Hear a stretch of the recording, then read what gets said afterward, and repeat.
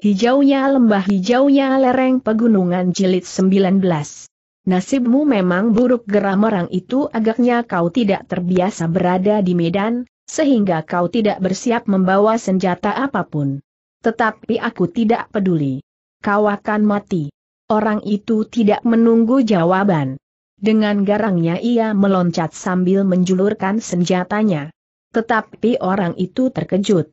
Ia sudah yakin, bahwa dengan sekali tusuk, orang yang namanya Mahisa Agni, seorang pemimpin pemerintahan di Singasari itu akan tertembus pedang dari dada sampai ke punggungnya.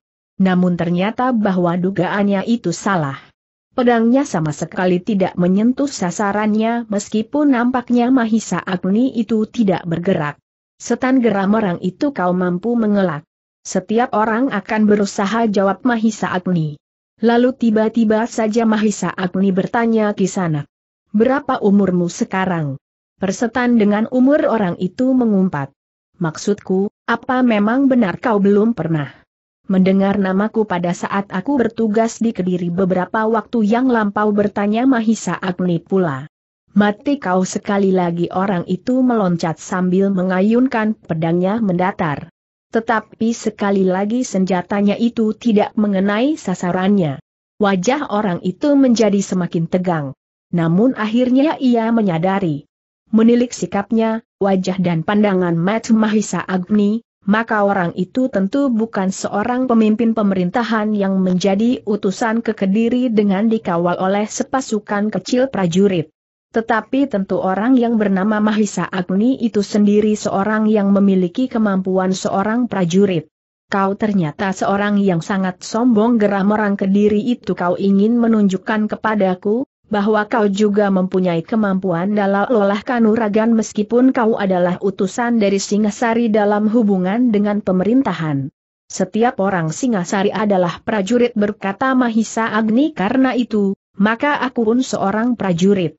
Karena di sini terjadi pertempuran, maka aku pun akan bertempur sebagaimana seorang prajurit bertempur. Orang itu tidak mau mendengarkan kata-kata Mahisa Agni sampai yang terakhir. Ia pun kemudian meloncat bagaikan menerkam dengan pedang yang terjulur lurus ke depan.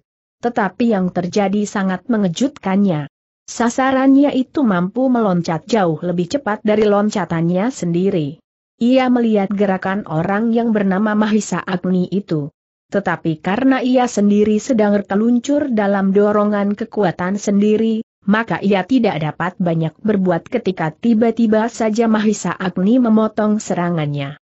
Orang kediri itu menyadari keadaan dirinya kemudian ketika senjata telah terlepas, dan lebih daripada itu, senjatanya ternyata sudah berada di tangan Mahisa Agni. Hanya pergelangan tangannya sajalah yang terasa sangat sakit. Maaf kisanak berkata Mahisa Agni karena aku tidak membawa senjata, aku pinjam senjatamu. Wajah orang itu menjadi merah padam. Sebagai seorang prajurit pilihan, maka yang terjadi itu benar-benar satu penghinaan. Namun ternyata ia tidak dapat mengingkari kenyataan yang telah terjadi itu. Senjatanya memang terlepas dari tangannya, bahkan telah jatuh ke tangan lawannya. Sejenak orang itu memandang Mahisa Agni. Barulah ia yakin bahwa Mahisa Agni bukannya seorang pemimpin pemerintahan yang kedudukannya terpisah dari unsur keprajuritan. Namun orang yang bernama Mahisa Agni itu tentu seorang prajurit Linui. Ia mampu mengambil senjatanya justru pada saat ia menyerangnya begitu mudahnya seperti mengambil makanan dari dalam geledek di dapur. Prajurit itu termangu-mangu sejenak. Namun kemudian ia pun menyadari keadaannya. Karena itu, maka ia pun kemudian berteriak hi, dengar, orang inilah yang bernama Mahisa Agni, yang harus kita binasakan bersama. Seorang. Di antara dua orang utusan dari Singasari yang mendapat perlindungan sekelompok kecil prajurit Singasari dan orang-orang kediri yang menjadi penjilat. Beberapa orang mendengarnya. Sementara karena jumlah orang Kediri yang menjadi pengikut Pangeran Kuda Permati memang lebih banyak, maka beberapa orang berkesempatan mendekati Mahisa Agni yang sudah menggenggam senjata prajurit yang menyerangnya itu. Hati-hati desis prajurit yang kehilangan senjatanya itu ketika beberapa orang mendekatinya sementara orang-orang Singasari sendiri membiarkannya saja beberapa orang mengepung Mahisa Agni, karena orang-orang Singasari itu tahu dengan pasti kemampuan Mahisa Agni sebagaimana juga kemampuan Witantra. Kenapa bertanya salah seorang kawannya? Orang itu sangat berbahaya jawab prajurit yang kehilangan senjatanya. Dan kau menghadapinya tanpa senjata desis kawannya yang lain. Prajurit itu ragu-ragu sejenak untuk mengatakan bahwa senjatanya telah dirampas oleh Mahisa Agni, karena kawan-kawannya yang belum membuktikan kemampuan orang Singasari itu tentu akan mentertawakannya. Karena itu, maka katanya senjataku sudah patah ketika aku bertempur melawan tiga orang sebelum orang ini datang. Ketika aku berhasil menyelesaikan ketiga orang lawanku, aku melemparkan senjataku yang patah namun yang masih juga mampu melawan tiga orang kediri penjilat itu. Kau bunuh mereka bertanya kawannya, yang lain. Sekali lagi orang itu ragu-ragu. Tidak, ada sesosok mayat pun yang ada di dekatnya. Maka katanya mereka melarikan diri. Seorang di antaranya tentu terluka parah, karena pedangku yang patah, yang aku lontarkan berhasil mengenai pundaknya. Kawan-kawannya tidak sempat bertanya lebih panjang lagi. Mereka mulai memperhatikan Mahisa Agni yang berdiri tegak dengan pedang di tangannya. Namun Mahisa Agni sempat tersenyum mendengarkan prajurit itu membual. Bahkan ia sempat berkata ya, Aku melihat sendiri bagaimana ketiga orang lawannya lari terbirit-birit. Gila geram prajurit yang kehilangan pedangnya itu. Namun kawan-kawannya tidak memperhatikannya. Mereka mulai mendekati Mahisa Agni dengan senjata masing-masing, sementara prajurit yang kehilangan senjatanya itu berusaha untuk mendapatkan gantinya. Ia berlari-lari ke arah sesosok tubuh yang terbaring di pinggir arna, sementara senjatanya, sebatang tombak pendek tergolek di sebelahnya. Tetapi ketika ia mengambil tombak itu, ternyata tubuh yang terbaring itu masih mengerang sambil berkata jangan kau ambil senjataku. Prajurit itu termangu-mangu. Namun kemudian ia berjongkok sambil berdesis aku pinjam tombakmu. Yang terluka parah itu beringsut. Tetapi ternyata tubuhnya sudah terlalu parah. Karena itu, maka prajurit yang kehilangan senjatanya itu pun sempat menolong orang itu beringsut dan menyandarkannya pada sebatang pohon. Bertahanlah. Sebentar lagi kita selesai. Orang-orang kediri yang tangguh akan berhasil menyelesaikan tugasnya dengan baik. Aku akan membunuh dengan tanganku sendiri, orang yang bernama Mahisa Agni. Dengan demikian, maka ia pun segera meloncat berlari sambil menjinjing tombak pendeknya. Namun orang itu tidak pernah bertemu lagi dengan Mahisa Agni, karena tiba-tiba saja seorang prajurit Singasari telah memotong langkahnya. Prajurit Kediri itu tidak dapat menolak. Ketika prajurit Singasari itu menyerang, maka ia pun harus melawan dengan tombak pendeknya. Namun ia masih sempat melihat ke arah pertempuran antara beberapa orang kawannya melawan Mahisa Agni. Namun hanya sekilas. Apalagi dalam keremangan malam. Ia sama sekali tidak dapat membayangkan apa yang telah terjadi. Sebenarnya beruntunglah prajurit itu. Ia mendapat lawan yang seimbang sehingga ia mempunyai kesempatan yang sama dengan lawannya untuk menang atau kalah. Sedangkan kawan-kawannya yang bertempur melawan Mahisa Agni sama sekali tidak mendapat kesempatan apa pun. Mahisa Agni memang tidak ingin memperpanjang waktu pertempuran. Ia mulai melumpuhkan lawan-lawannya seorang demi seorang. Meskipun niat Mahisa Agni yang utama tidak untuk membunuh tetapi dalam pertempuran yang kemudian menjadi keras, kemungkinan itu dapat terjadi atas lawan-lawannya. Satu dua orang terlempar dengan darah membasahi tubuh mereka. Tetapi mereka masih sempat untuk merangkak menyingkir dari arena. Tetapi ada di antara mereka yang terpelanting dan tidak akan dapat bangun untuk selamanya. Dengan demikian maka orang-orang kejeri yang menjadi pengikut Pangeran Kuda Permati itu menyadari, bahwa orang yang bernama Mahisa Agni itu adalah orang yang memiliki ilmu yang luar biasa. Sebelum mereka berangkat, memang mereka mendapat pesan untuk berhati-hati menghadapi orang yang bernama Mahisa Agni dan Witantra. Tetapi mereka sama sekali tidak membayangkan, bahwa kemampuan kedua orang itu begitu tinggi. Yang terjadi di bagian lain dari pertempuran itu pun tidak banyak berbeda. Witantra pun telah berbuat sebagaimana dilakukan oleh Mahisa Agni. Sekelompok orang yang bertempur melawan Witantra tidak banyak memberikan perlawanan ketika Witantra dengan sungguh-sungguh menyerang mereka. Sementara itu pertempuran yang terjadi di seluruh halaman istana itu menjadi semakin seru. Kedua belah pihak, yang prajurit pilihan, telah bertempur dengan segenap kemampuannya. Prajurit Kediri yang mendapat tugas untuk melindungi utusan dari Singasari itu pun ternyata mampu mengimbangi lawan mereka. Meskipun mereka bukan dari pasukan khusus, tetapi terdorong oleh tanggung jawab mereka yang besar, serta bekal keprajuritan mereka, maka mereka bukan sekedar menjadi anak bawang liarna itu. Mereka pun menunjukkan bahwa mereka adalah prajurit yang menguasai senjatanya di medan perang. Mahisa Bungalan masih bertempur melawan Senopati yang memimpin sepasukan pilihan pengikut Pangeran Kuda Permati. Ternyata bahwa Mahisa Bungalan memang memiliki ilmu yang tinggi dan pengalaman yang luas. Tetapi Senopati yang mendapat kepercayaan dari Pangeran Kuda Permati itu pun adalah orang pilihan. Ia mampu bergerak dan bertempur dengan kecepatan yang sangat tinggi.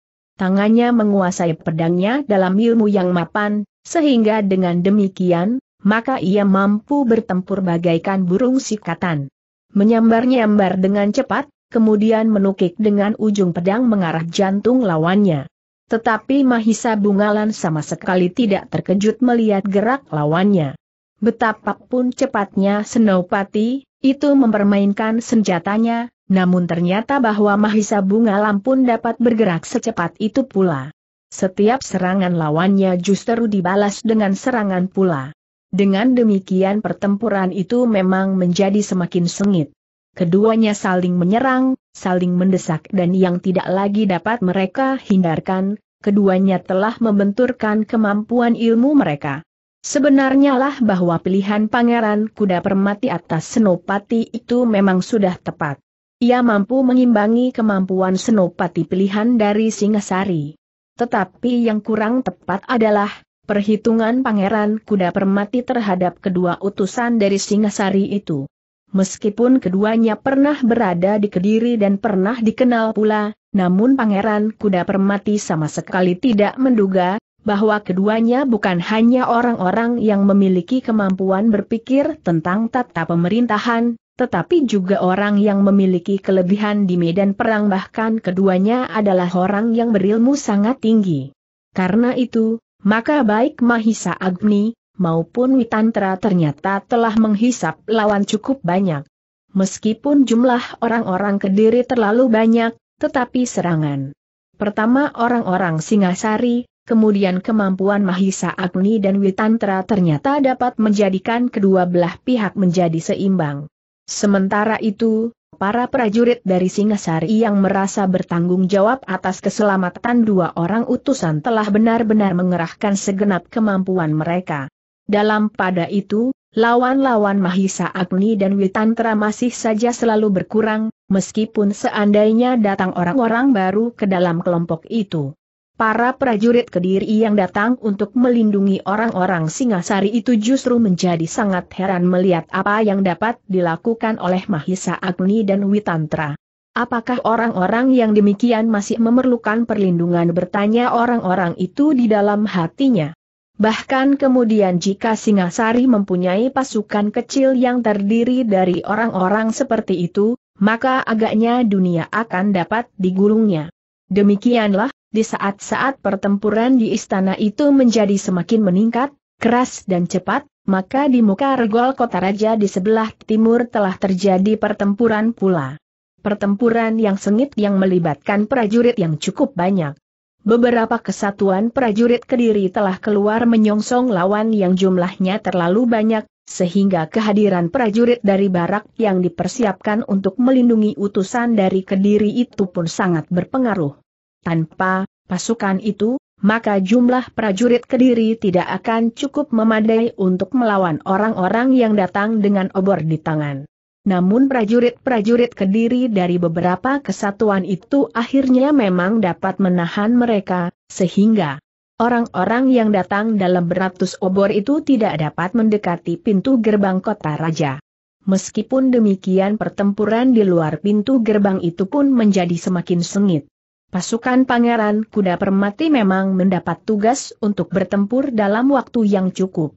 Jika menurut pertimbangan waktu sebagaimana direncanakan, kawan-kawan mereka sudah berhasil membinasakan orang-orang Singasari yang berada di kota raja, maka mereka dapat menarik diri. Pasukan Kediri di sisi timur memang tidak siap menghadapi sergapan yang demikian. Sehingga karena itu, maka mereka lebih banyak tergantung pada pasukan yang datang dari dalam lingkungan kota raja, termasuk pasukan yang seharusnya melindungi para utusan dari Singasari. Agaknya kesiagaan di sisi timur ini beberapa dengan kesiagaan para prajurit Kediri di sisi utara. Di perbatasan utara Panji Sempana Murti sudah mempersiapkan diri sehingga setiap saat akan dapat turun ke medan. Meskipun demikian, jika yang datang itu pasukan sebesar pasukan yang menyerang sisi timur maka Panji Sempana Murti pun tentu memerlukan bantuan pula. Sedangkan pasukan yang berada di perbatasan utara adalah pasukan Pangeran Singanarpada. Karena itulah, maka Pangeran Kuda Permati memilih sisi yang lemah untuk sekedar memancing perhatian pasukan di dalam dinding kota raja, agar orang-orangnya yang sudah ada di dalam mendapat kesempatan untuk melakukan tugas mereka.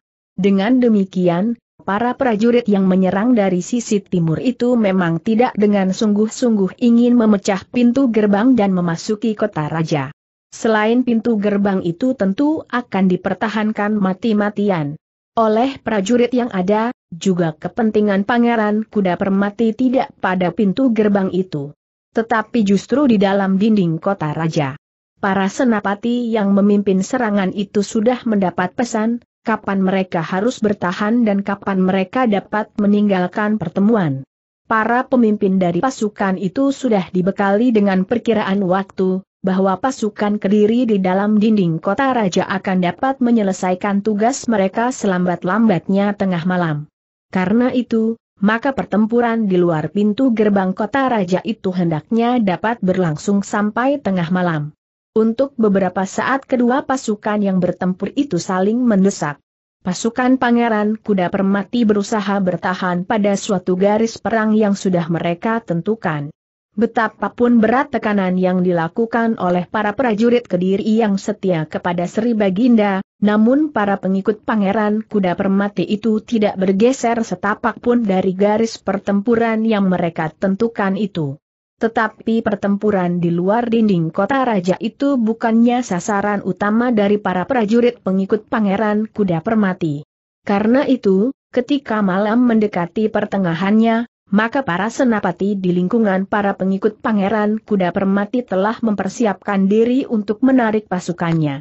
Mereka harus bergeser mundur, tetapi tetap dalam kesatuan pasukan sehingga tidak akan jatuh korban terlalu banyak, sementara itu, tugas prajurit pilihan di lingkungan istana yang dipergunakan oleh para utusan dari Singasan itu pun telah dapat diselesaikan menurut perhitungan.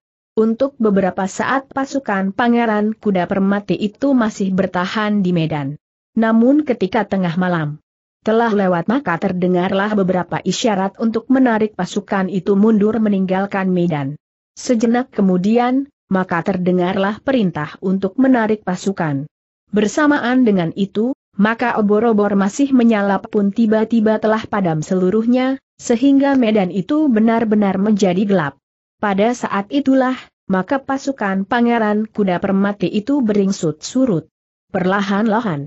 Namun setelah mereka sampai di garis tertentu sesuai dengan rencana mereka yang matang, maka pasukan itu pun mundur dengan cepat.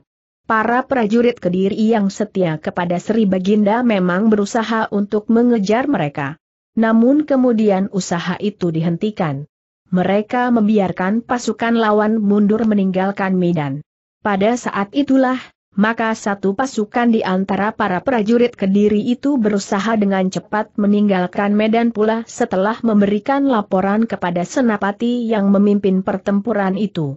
baik jawab Senapati itu kembalikah ke barak, namun ternyata mereka tidak berhasil memasuki pintu gebang, sehingga mereka tidak sempat mengusik utusan dari Singasari itu. Meskipun demikian, pemimpin pasukan itu telah mendahului pasukan yang lain kembali ke barak mereka sambil membawa kawan-kawan mereka yang terluka. Sementara yang masih belum mereka ketemukan telah mereka serahkan pasukan yang tinggal untuk merawat mereka. Demikian pasukan itu sampai di barak, maka Mirekap pun terkejut bukan kepalang. Mereka mendapat laporan dari prajurit yang tinggal di barak, bahwa pasukan kecil yang ditinggalkan telah pergi ke istana bagi orang-orang Singasari. Kenapa bertanya Senapati itu? Istana itu telah diserang oleh sekelompok orang-orang pangeran kuda permati jawab prajurit itu. Apakah sudah ada laporan tentang mereka bertanya senapati itu? Belum jawab prajurit itu. Senapati itu menjadi berdebar-debar. Ia pun segera memerintahkan sekelompok pasukannya untuk bersama-sama pergi ke istana itu. Agaknya orang-orang Kediri telah melakukan satu permainan yang licik untuk menghancurkan sekelompok utusan dari Singasari itu. Senopati itu baru menyadari, bahwa sebenarnya serangan atas pintu gerbang di sisi timur itu tentu hanya sekedar care untuk mengalihkan perhatian, sementara sasaran mereka yang sebenarnya adalah orang-orang Singasari itu. Dengan ketajaman penalarannya maka Senopati itu seakan-akan dapat melihat apa yang sudah dilakukan oleh orang-orang Kediri yang menjadi pengikut Pangeran Kuda Permati. Mereka menyiapkan satu serangan terbuka, namun sebelumnya beberapa orang yang terpilih telah menyusup masuk ke dalam lingkungan kota raja. Dalam kesibukan pertempuran melawan pasukan Pangeran Kuda Permati yang menyerang secara terbuka itu, maka orang-orangnya telah memasuki istana tempat orang-orang Singasari itu beristirahat. Karena itu, maka dalam kegelisahan ia telah dengan tergesa-gesa membawa sekelompok pasukan berkuda menuju ke istana itu. Jika terjadi sesuatu atas mereka, maka ia pun ikut bertanggung jawab. Sementara itu ia telah memerintahkan pasukannya yang lain untuk bersiap. Mungkin mereka pun diperlukan segera untuk pergi ke istana itu. Ketika Senopati dan sekelompok pengawal berkudanya mendekati regol istana itu, jantungnya bagaikan berhenti berdetak. Halaman istana itu nampaknya sepi-sepi saja, sementara pintu regolnya masih terbuka lebar. Karena itu, tanpa turun dari kudanya, serta senjata siap di tangan Senopati itu langsung memacu kudanya memasuki halaman dan siap untuk bertempur. Ia memastikan bahwa orang-orang Singasari itu telah dikuasai oleh orang-orang Kediri yang menjadi pengikut Pangeran Kuda Permati. Mudah-mudahan mereka belum dibunuh atau dibawa pergi meninggalkan istana itu geram Senopati itu. Namun demikian mereka memasuki halaman, maka terasa sesuatu bergejolak di dadanya. Ia melihat beberapa orang duduk dengan tenang di pendapa, sementara beberapa orang yang lain berkerumun di muka gandok sebelah menyebelah. Dalam keremangan cahaya lampu senopati itu pun melihat, beberapa orang dalam pakaian prajurit Kediri dan Singasari berada di antara mereka. Senopati itu menarik nafas dalam-dalam ketika ia melihat Mahisa Agni dan Witantra masih duduk di pendapa bersama dua orang perwira dari pasukannya, di antara beberapa orang lain. Senopati itu meloncat turun dari kudanya.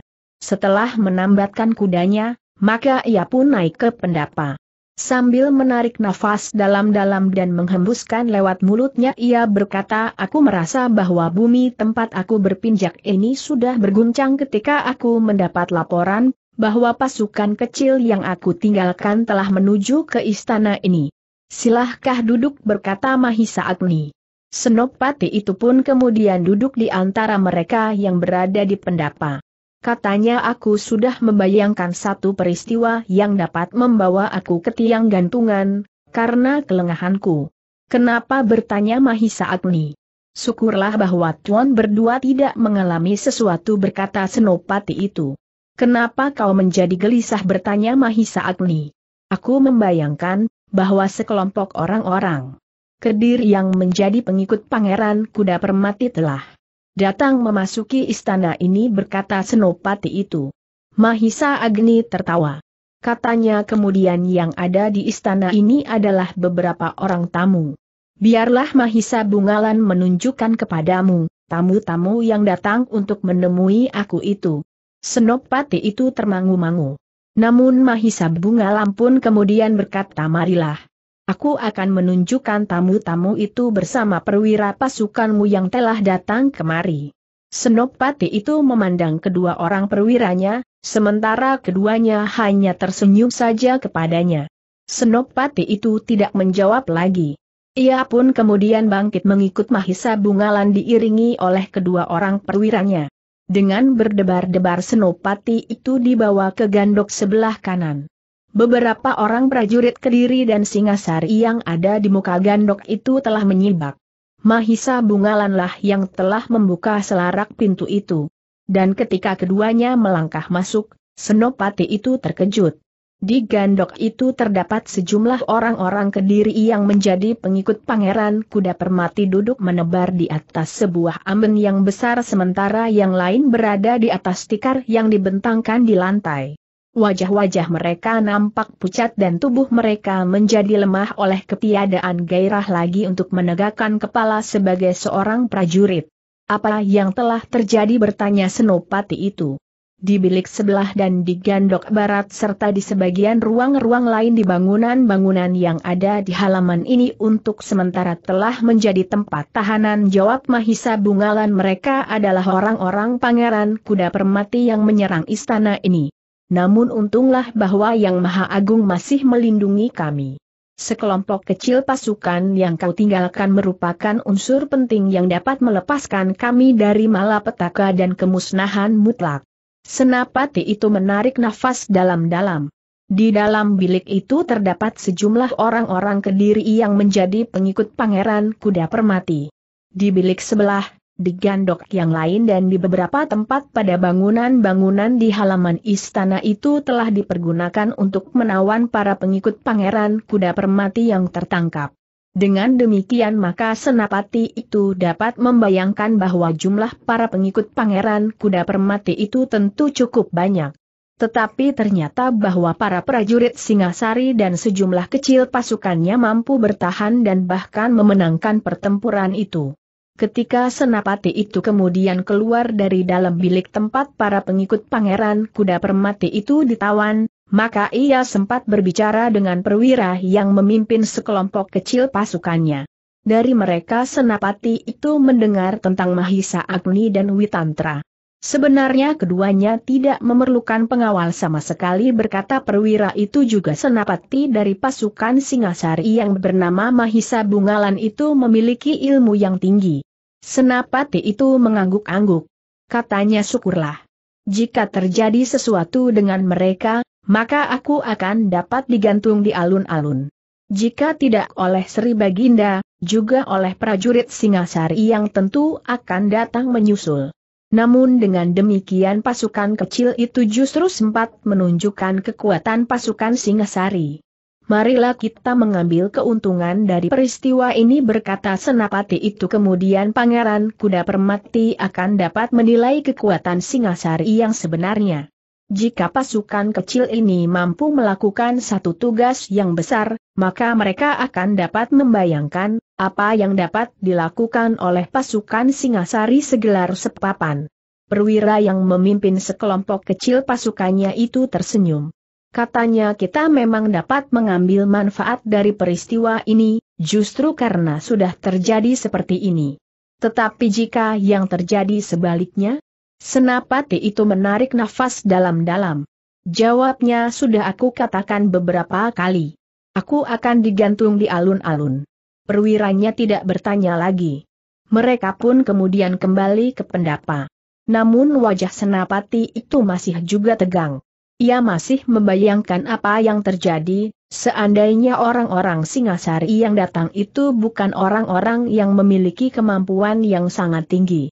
Sudahlah berkata Mahisa Agni kemudian setelah mereka duduk kembali di pendapa. Sementara itu, beberapa orang sempat juga menyediakan minuman panas. Lalu katanya lebih lanjut semuanya sudah teratasi. Aku justru kagum akan ketajaman perhitunganmu, sehingga kau tidak membawa seluruh pasukanmu ke gerbang itu. Sebagian kecil pasukan YNG kau tinggalkan di barak. Ternyata memberikan arti yang besar bagi kami. Senapati itu mengangguk-angguk titik sementara itu Mahisa Agni melanjutkan kami terpaksa memberikan beban lebih banyak kepada kalian. Kami harus menyerahkan tawanan-tawanan itu karena kami tidak akan membawanya ke Singasari. Itu adalah kewajiban kami jawab senapati itu. Besok kalian dapat mengambil mereka dan besok kami akan menghadap Sri Baginda untuk memberikan laporan, apa yang telah terjadi berkata Mahisa Agni. Lalu, dengan demikian maka sudah pasti bagi kami, bahwa Pangeran Kuda Permati telah dengan terang-terangan memberontak melawan Kediri dan Singasari. Yang terjadi ini sudah cukup kuat menjadi alasan bagi kekuatan Singasari untuk bertindak. Senapati Kediri itu mengerutkan keningnya. Namun Mahisa Agni melanjutkan tetapi agaknya Singasari tidak akan secepat itu mengambil langkah. Selama Kediri masih mampu mengatasi persoalannya sendiri, maka Singasari tidak akan mengirimkan pasukan untuk ikut campur, karena dengan demikian akan terjadi persoalan yang semakin rumit. Ya Senapati itu mengangguk-angguk dengan serta merta itu adalah sikap yang bijaksana. Yang dilakukan oleh Pangeran Kuda Permati kali ini, yang terpenting bukan kebinasaan utusan Singasari itu sendiri. Tetapi satu pancingan agar Singasari mengambil tindakan kekerasan. Mahisa Agni tersenyum. Katanya itu sudah kami perhitungkan. Jika Singasari benar mengambil langkah yang demikian, maka langkah itu diharapkan akan dapat menyinggung perasaan orang-orang Kediri yang menganggap bahwa Singasari telah bertindak sewenang-wenang. Itu adalah satu keuntungan bagi Pangeran Kuda Permati. Senapati itu mengangguk-angguk. Sementara itu Mahisa Agni berkata selanjutnya tetapi sikap kami akan berbeda terhadap orang-orang yang mempersulit kedudukan Singasari di telatah Singasari di luar Kediri. Apa yang Tuan maksudkan bertanya senapati itu? Orang-orang yang merusak hutan untuk memperlemah. Kedudukan Singasari dalam jangka waktu yang panjang.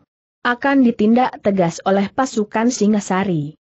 Juga mereka yang membuat keresahan dengan tingkah laku yang menyinggung kehormatan Singasari jawab Mahisa Agni. Senapati itu mengangguk-angguk, ia dapat mengerti keterangan itu, dan adalah wajar sekali apabila Singasari bersikap demikian. Sejenak kemudian, maka agaknya tidak ada lagi persoalan yang harus dibicarakan, segera. Maka menjelang fajar menyingsing senapati itu pun mohon diri untuk kembali ke baraknya, sementara ia meninggalkan beberapa orang prajurit untuk menambah prajurit-prajurit yang terdahulu untuk membantu menjaga para tawanan. Besok mereka akan kami ambil setelah kami melaporkan semuanya ini kepada Panglima berkata Senapati itu. Silahkan jawab Mahisa Agni besok aku dan Witantra juga akan menghadap Sri Baginda. Kami ingin mendapat kesan pendapat Sri Baginda tentang peristiwa ini. Demikianlah, maka Senapati itu pun meninggalkan istana yang diperuntukkan bagi para utusan dari Singasari. Ketika ia sampai di baraknya, maka ia pun segera memanggil para perwiranya. Ia tidak merasa perlu untuk beristirahat pada sisa malam itu. Para perwira yang masih juga bersiaga sepenuhnya itu pun segera berkumpul. Dengan singkat Senapati itu memberikan beberapa keterangan tentang peristiwa yang telah terjadi di Kediri. Bukan saja di istana yang diperuntukkan bagi utusan dari Singasari, tetapi keadaan dalam keseluruhan hubungan antara serangan di pintu gerbang sebelah timur dan peristiwa di istana yang diperuntukkan bagi orang-orang Singasari itu. Para perwira itu mengangguk-angguk. Mereka kemudian mendapat gambaran yang jelas apa yang sudah terjadi. Untunglah, bahwa tidak terjadi malapetaka atas para utusan itu gumam salah seorang di antara para perwira itu. Ya sahut senapatinya ternyata kita telah lengah. Kita telah kalah satu langkah. Jika orang-orang Singasari itu tidak menolong diri sendiri, maka mereka tentu sudah dibinasakan. Tetapi beruntung jugalah, bahwa masih ada sekelompok kecil prajurit di antara kita yang tersisa, betapapun kecilnya, namun mereka dapat juga membantu menyelesaikan persoalan. Senapati itu pun kemudian memerintahkan pasukan bersiap-siap untuk mengambil para tawanan di keesokan harinya, sementara ia pun kemudian berkuda pergi menghadang Panglima pasukan Kediri. Laporannya cukup mengejutkan. Tetapi ia tidak dapat menyalahkan Senapati itu, karena sebelumnya Senapati itu sudah membuat hubungan dengan beberapa pihak. Namun kelengahan itu merupakan satu pengalaman yang pahit bagi mereka. Besok kalian harus mengambil para tawanan itu berkata Panglima prajurit Kediri itu kita perlu mendapat keterangan dari mereka. Apakah mereka akan bersedia berbicara bertanya Senapati itu? Mereka tentu orang-orang pilihan jawab Panglimanya tetapi kita akan mencari seorang di antara orang-orang pilihan itu yang paling lemah, sehingga mungkin kita akan mendapat keterangan. Demikianlah, Ketika matahari mulai memancarkan cahayanya, maka sekelompok prajurit telah menuju istana yang semalam menjadi ajang pertempuran. Mereka telah mempersiapkan kelengkapan untuk membawa para tawanan dari istana itu. Ternyata bahwa pagi itu kota raja telah menjadi gempar. Setiap orang mempercakapkan pertempuran yang telah terjadi semalam. Di depan pintu gerbang sebelah timur dan di istana yang dipergunakan oleh para utusan dari Singasari. Bekas-bekas pertempuran itu masih juga membuat orang-orang yang menyaksikan menjadi ngeri. Sawah yang berserakan, tanah yang merah oleh darah pepohonan yang berpatahan.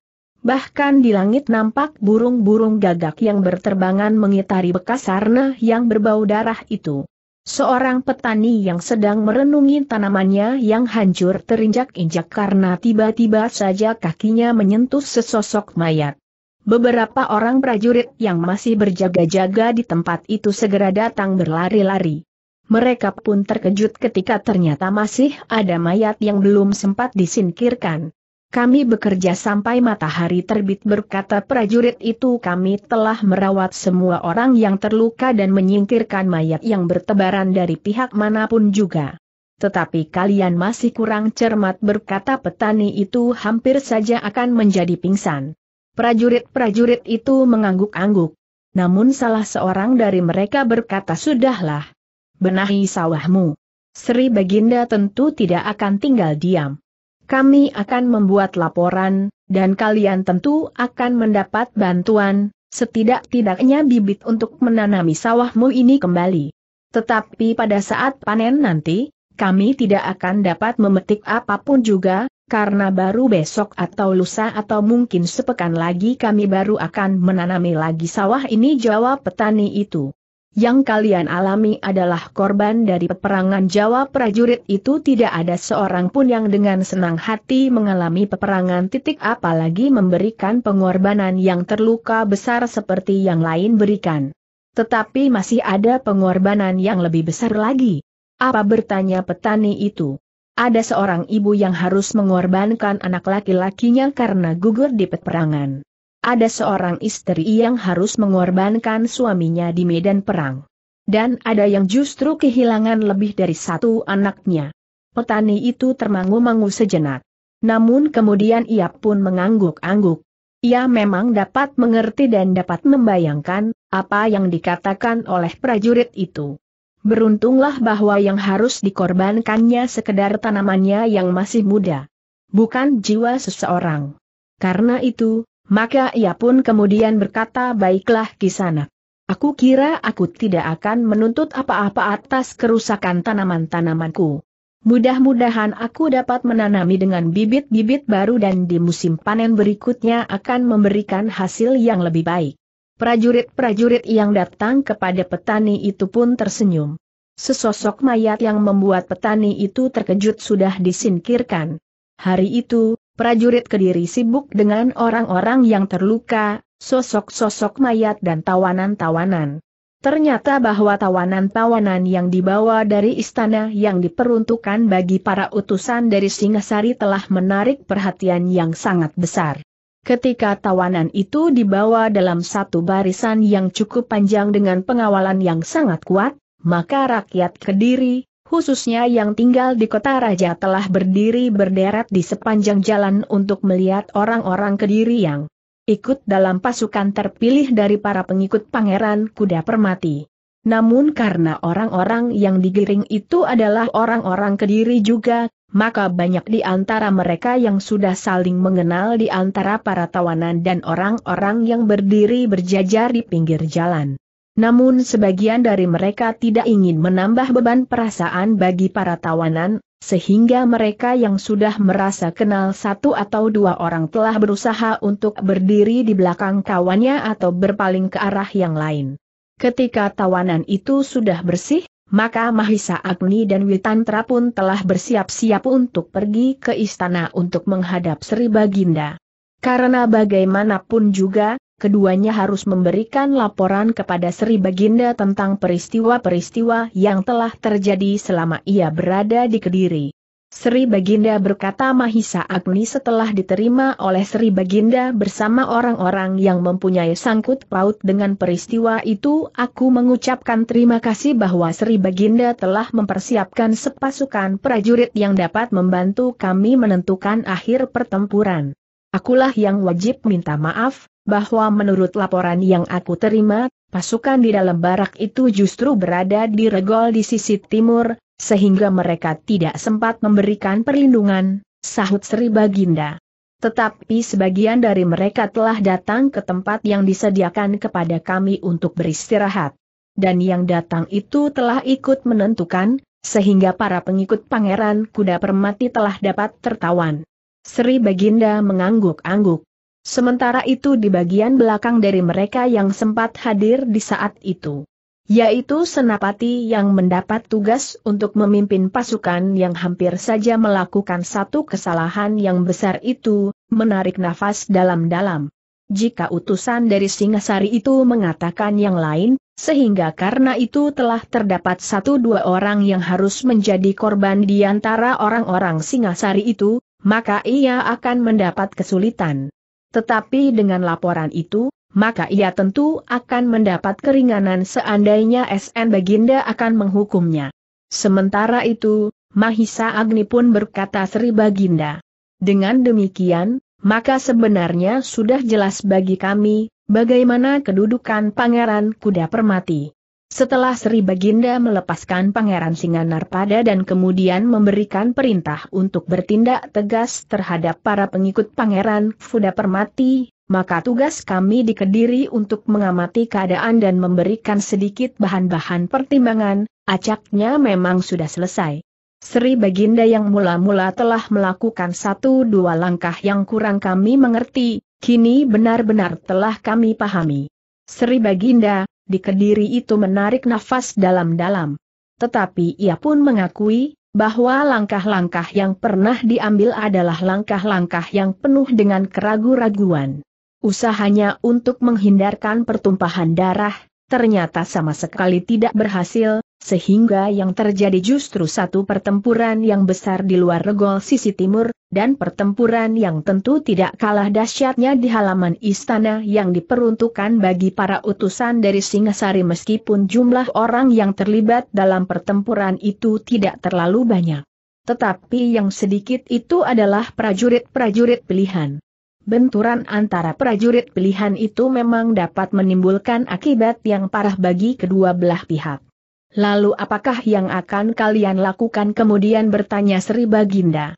Kembali ke Singasari dan memberikan laporan kepada Sri Maharaja tentang keadaan di Kediri. Namun aku yakin bahwa Sri Maharaja akan mengambil langkah yang paling baik bagi Kediri jawab Mahisa Agni. Lalu Sri Maharaja tentu akan memberikan kesempatan kepada Kediri untuk menyelesaikan persoalan di antara keluarga sendiri. Meskipun demikian Sri Maharaja tentu tidak akan berlepas tangan jika memang hal itu dikehendaki oleh Kediri. Sri Baginda pun mengangguk-angguk. Namun kemudian ia pun berkata aku akan menyelesaikan persoalan kami sendiri. Mahisa Agni dan Witantra mengangguk-angguk. Mereka memang sudah menduga, dan mereka pun yakin bahwa Sri Maharaja di Singasari tidak akan menolak, bahwa Kediri, akan menyelesaikan persoalan mereka sendiri. Meskipun demikian bukan berarti bahwa Singasari dapat hanya berdiam diri sambil menonton perkembangan keadaan di Kediri. Apalagi Singasari menyadari, bahwa usaha Pangeran Kuda Permati itu telah meluas jauh di luar telatah Kediri sendiri, dengan menghancurkan kehidupan di lereng-lereng pegunungan, justru lereng yang menghadap langsung ke daerah yang menjadi sumber pangan dan kesejahteraan bagi Singasari. Namun sementara itu Mahisa Agni pun menjahut baiklah Sri Baginda. Semuanya akan kami sampaikan kepada Sri Maharaja. Kediri akan menyelesaikan persoalan di antara keluarganya sendiri. Mudah-mudahan semuanya akan dapat dengan cepat diselesaikan, tanpa pertumpahan darah. Mudah-mudahan tetapi suara itu terdengar terlalu dalam.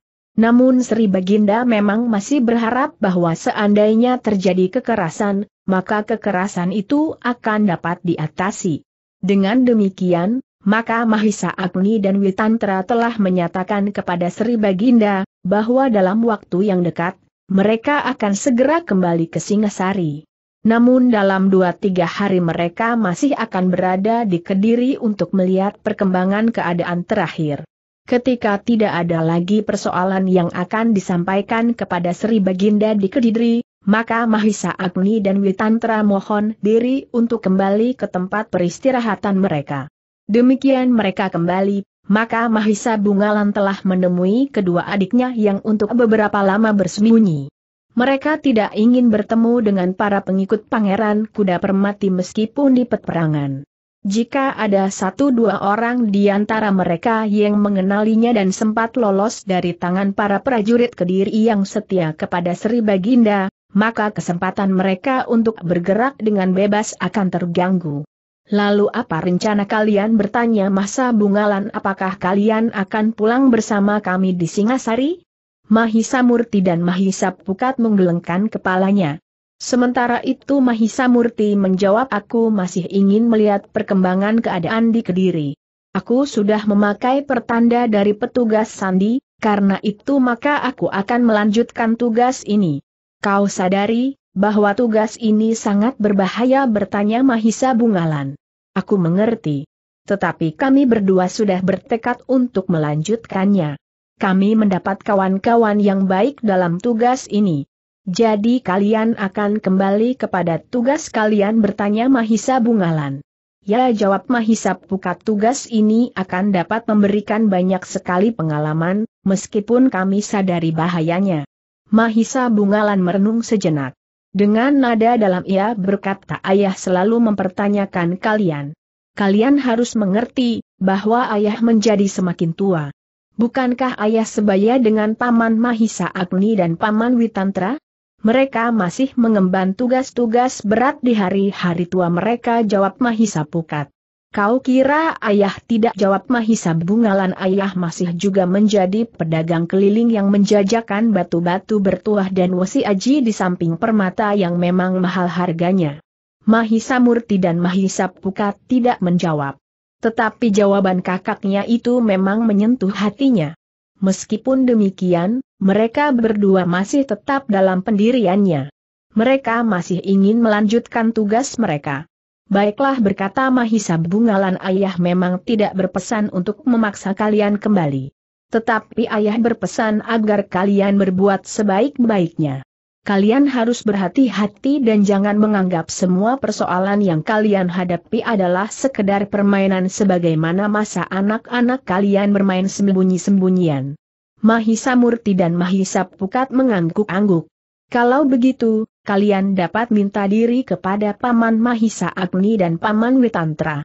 Tetapi sebaiknya kalian meninggalkan tempat ini di malam hari. Namun dengan demikian kalian harus menyadari, bahwa kalian harus berusaha menghindari pengamatan para petugas dari Kediri yang setia kepada Sri Baginda dan para pengikut Pangeran Kuda Permati yang tentu juga berkeliaran pesan Mahisa Bungalan. Kami mengerti jawab keduanya hampir berbareng. Demikianlah maka kedua anak muda itu pun telah mohon diri kepada Mahisa Agni dan Witantra, bahwa demikian malam turun, mereka akan meninggalkan istana itu, kembali kepada tugas mereka. Mahisa Agni mengangguk-angguk. Katanya kalian telah memilih satu tugas yang sangat berat. Tetapi agaknya tugas ini dapat memberikan landasan hidup yang mantap jawab Mahisa Murti. Mungkin demikian sahut Witantra tetapi pengalaman itu harus kau peroleh dengan taruhan yang mahal sekali. Meskipun demikian, jika hal itu memang sudah menjadi pilihan kalian, lakukanlah dengan bersungguh-sungguh tetapi dengan sangat berhati-hati. Ya paman jawab kedua anak itu hampir berbareng. Sementara itu, beberapa pesan masih diberikan oleh kedua pamannya. Demikianlah, maka ketika kota raja sudah menjadi gelap, Mahisa Murti dan Mahisa Pukat telah meninggalkan istana itu. Mereka menyadari bahwa kota yang baru saja dilanda oleh pertempuran itu tentu mendapat penjagaan yang ketat oleh pasukan Kediri, tetapi tentu juga mendapat pengawasan dari para petugas sandi dari para pengikut. Pangeran Kuda Permati apalagi setelah Pakneran Kuda Permati mengalami kegagalan. Mereka tidak dapat membinasakan para utusan dari Singasari. Yang terjadi justru sebaliknya. Para pengikut Pangeran Kuda Permati itu sebagian besar telah menjadi tawanan. Dalam ada itu, sebenarnya lah Pangeran Kuda Permati sedang bertemu dengan para pemimpin pasukannya.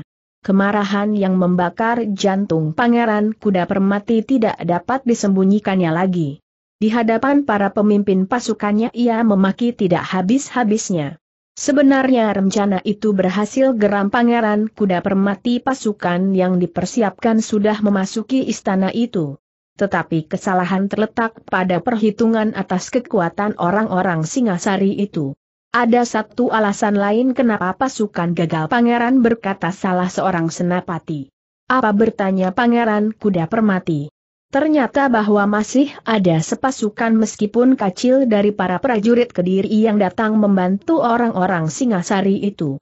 Meskipun pasukan ini tidak terlalu besar, tetapi mereka telah menyerap sebagian kekuatan orang-orang yang seharusnya menghadapi orang-orang Singasari. Benar. Tetapi kelengahan orang-orang kita juga membuat pasukan itu menjadi lemah. Ternyata bahwa orang-orang Singasarilah yang justru pertama-tama menyergap pasukan Kediri. Bukan sebaliknya. Dalam sergapan pertama itu menurut laporan yang aku terima, beberapa orang telah menjadi korban jawab Pangeran Kuda Permati. Benar Pangeran jawab Senapati yang lain namun masih ada satu hal yang perlu mendapat perhatian.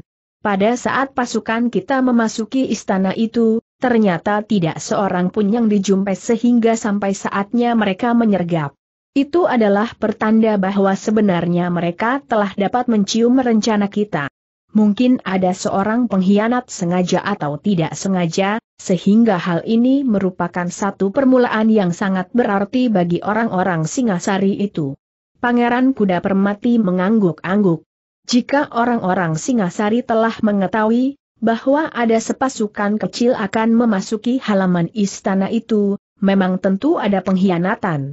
Tetapi untuk mencari pengkhianat itu, adalah satu pekerjaan yang sangat sulit. Meskipun demikian pengeran kuda permati itu pun berkata pengkhianatan memang memungkinkan di mana saja tetapi kemungkinan lain adalah ada orang-orang yang memang diselundupkan oleh penjilat-penjilat dari kediri itu ke dalam tubuh kita, sehingga setiap kali kita berbicara tentang satu rencana, maka rencana itu tentu jatuh ke tangan orang-orang yang tidak berhak. Orang-orang yang menjadi penjilat itu. Para senapatinya pun mengangguk-angguk. Salah seorang di antara mereka berkata hal itu memang mungkin sekali. Memang berbeda antara pengkhianat dan orang-orang yang memang diselundupkan ke dalam tubuh kita. Mereka tidak dapat disebut pengkhianat, karena mereka hadir dengan tugas mereka untuk mengamati kita. Tetapi bagi kediri orang itu memang pengkhianat. Jika yang diselundupkan itu orang Singasari, maka ia memang bukan pengkhianat, tetapi justru seorang pahlawan bagi Singasari, sahut Pangeran Kuda Permati para senapatinya masih saja mengangguk-angguk. Sementara itu Pangeran Kuda Permati pun berkata tetapi kita tidak boleh tenggelam dalam arus perasaan untuk saling menyalahkan dan saling mencurigai. Meskipun aku tetap memerintahkan kepada kalian untuk berhati-hati menghadapi pengkhianatan itu atau orang-orang yang dengan sengaja diselundupkan ke dalam lingkungan kita. Tetapi satu hal yang harus kita perhatikan dengan sungguh-sungguh Meskipun orang-orang kita gagal membunuh utusan dari Singasari itu, tetapi mereka telah berhasil memasuki istana yang diperuntukkan bagi mereka. Dengan demikian maka Singasari tentu mempunyai penilaian yang pasti terhadap kita. Itulah yang penting. Aku mengharap Singasari akan benar-benar bertindak dengan mengerahkan pasukannya ke Kediri. Jika demikian, maka dalam waktu dekat, aku akan menggugah orang-orang Kediri untuk bangkit. Bahwa sesungguhnya orang-orang Singasari memang ingin menguasai Kediri. Sekarang kita masih tertidur nyenyak, karena kita belum sempat melihat kenyataan itu. Orang-orang Singasari dengan cerdik dan licik melakukan dan penghisapan. Sementara kita merasa bahwa orang-orang Singasari seolah-olah telah mendatangkan kesejahteraan. Para senopatinya memang sependapat. Mereka menunggu langkah-langkah yang akan diambil oleh Singasari, sehingga Pangeran Kuda Permati dapat menunjukkan bahwa Singasari memang benar-benar dengan garang telah memeras kediri sampai kering. Tetapi ternyata Singasari tidak melakukan sebagian yang diharapkan oleh Pangeran Kuda Permati. Singasari melangkah dengan bijaksana, karena Singasari menyadari kedudukannya. Sementara Mahisa Agni dan Witantra yang masih berada di Kediri dalam dua hari terakhir, tidak melihat perkembangan baru di Kediri. Karena itu maka mereka pun telah memutuskan untuk segera kembali ke Singasari dengan laporan tentang perkembangan keadaan di Kediri. Bahwa Pangeran Singanar pada telah diturunkan kembali ke dalam tugasnya. Sementara itu Pangeran Kuda Permati berusaha untuk memancing permusuhan menjadi semakin parah antara orang-orang Kediri dan orang-orang Singasari. Sehingga dengan demikian maka Singasari akan dapat mempersiapkan diri sebaik-baiknya menghadapi segala kemungkinan. Dengan hasil pengamatannya selama di Kediri, maka Mahisa Agni dan Witantra pun akhirnya mohon diri kepada Sri Baginda. Agaknya mereka merasa bahwa perkembangan selanjutnya masih harus selalu diikuti. Namun Mahisa Agni dan Witantra masih belum dapat mengatakan, care yang manakah yang akan ditempuh oleh Singasari. Salamku kepada Sri Maharaja berkata Sri Baginda di Kediri aku mohon restunya, semoga aku segera berhasil mengatasi kemelut ini. Mudah-mudahan berkata Mahisa Agni tetapi yang Sri Baginda hadapi kini sudah jelas. Ya jawab Sri Baginda dalam dua hari ini kuda permati nampaknya merasa perlu untuk membenahi pasukannya. Namun aku menjadi semakin jelas, sikap apakah yang harus aku ambil sekarang? Mahisa Agni mengangguk-angguk. Sementara itu, ia tidak lagi menawarkan jasa apa pun juga, karena dengan demikian Kediri justru akan dapat tersinggung. Hari itu Mahisa Agni dan Witantra pun telah meninggalkan Kediri mereka hanya dikawal oleh sekelompok kecil pasukan Singasari. Namun mereka yakin, bahwa mereka tidak akan mengalami kesulitan di perjalanan, karena mereka pun sependapat dengan Sri Baginda, bahwa agaknya Pangeran Kuda Permati sedang membenahi diri. Apalagi jalan yang akan ditempuh oleh orang-orang Singasari itu adalah jalan yang tidak pernah dijamah oleh pasukan Pangeran Kudai Permati sebelumnya. Seandainya kita menjumpainya di perjalanan, maka apa boleh buat berkata Witantra.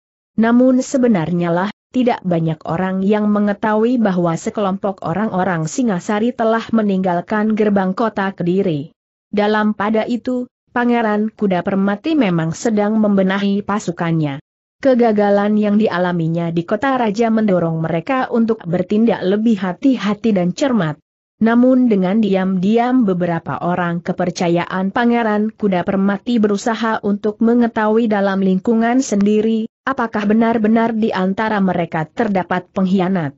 Namun dalam pada itu, Pangeran Singanar pada yang bekerja bersama dengan Panji Sempana Murti telah mempelajari peristiwa yang terjadi di gerbang sebelah timur kota raja mereka sudah mendapatkan laporan kegagalan usaha Pangeran Kuda Permati untuk membunuh orang-orang Singasari, meskipun sebagian dari tujuan mereka telah tercapai, untuk memancing kemarahan Sri Maharaja di Singasari.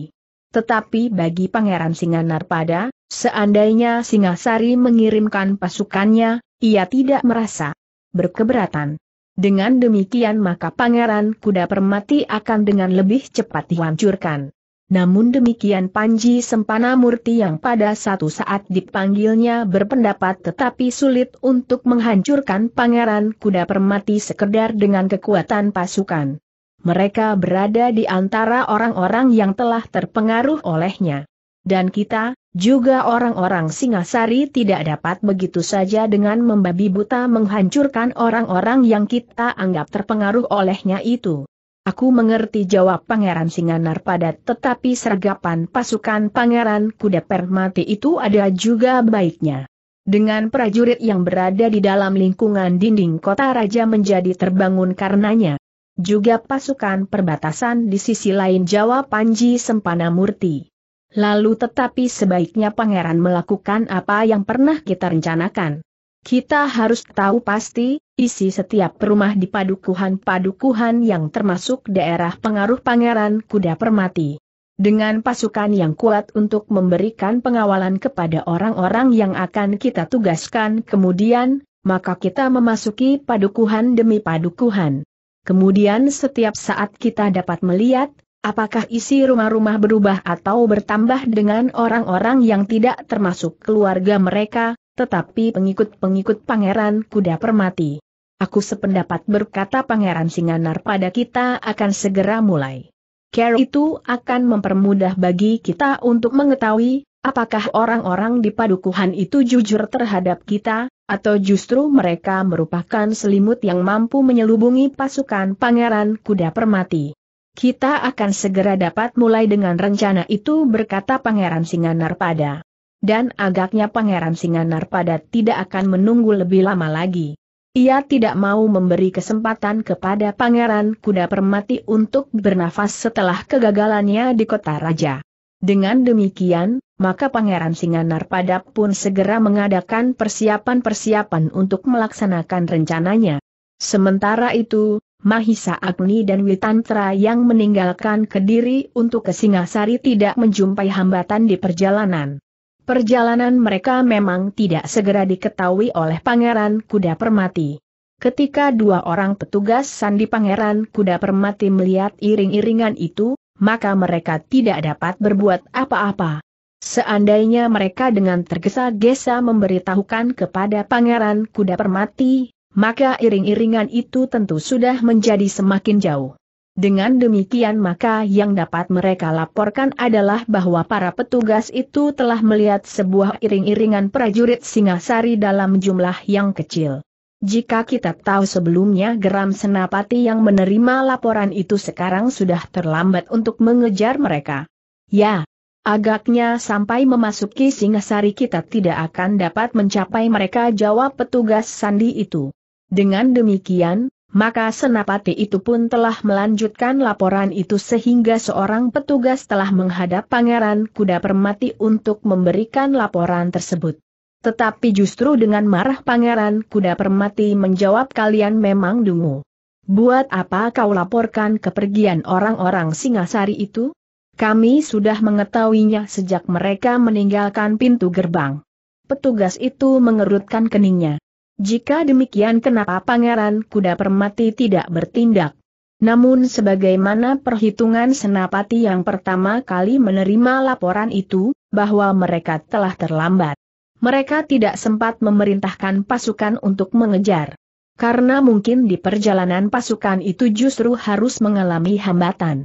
Mungkin mereka bertemu dengan kesatuan-kesatuan prajurit Kediri sendiri.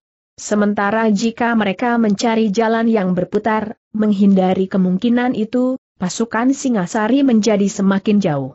Karena itulah, maka pasukan Singasari yang kecil itu dengan selamat kembali ke barak mereka, untuk seterusnya menghadap Sri Maharaja, melaporkan hasil perjalanan mereka ke Kediri. Ternyata Sri Maharaja di Kediri pun sependapat dengan Mahisa Agni dan Witantra. Singasari tidak akan dengan tergesa-gesa mengirimkan pasukan ke Kediri.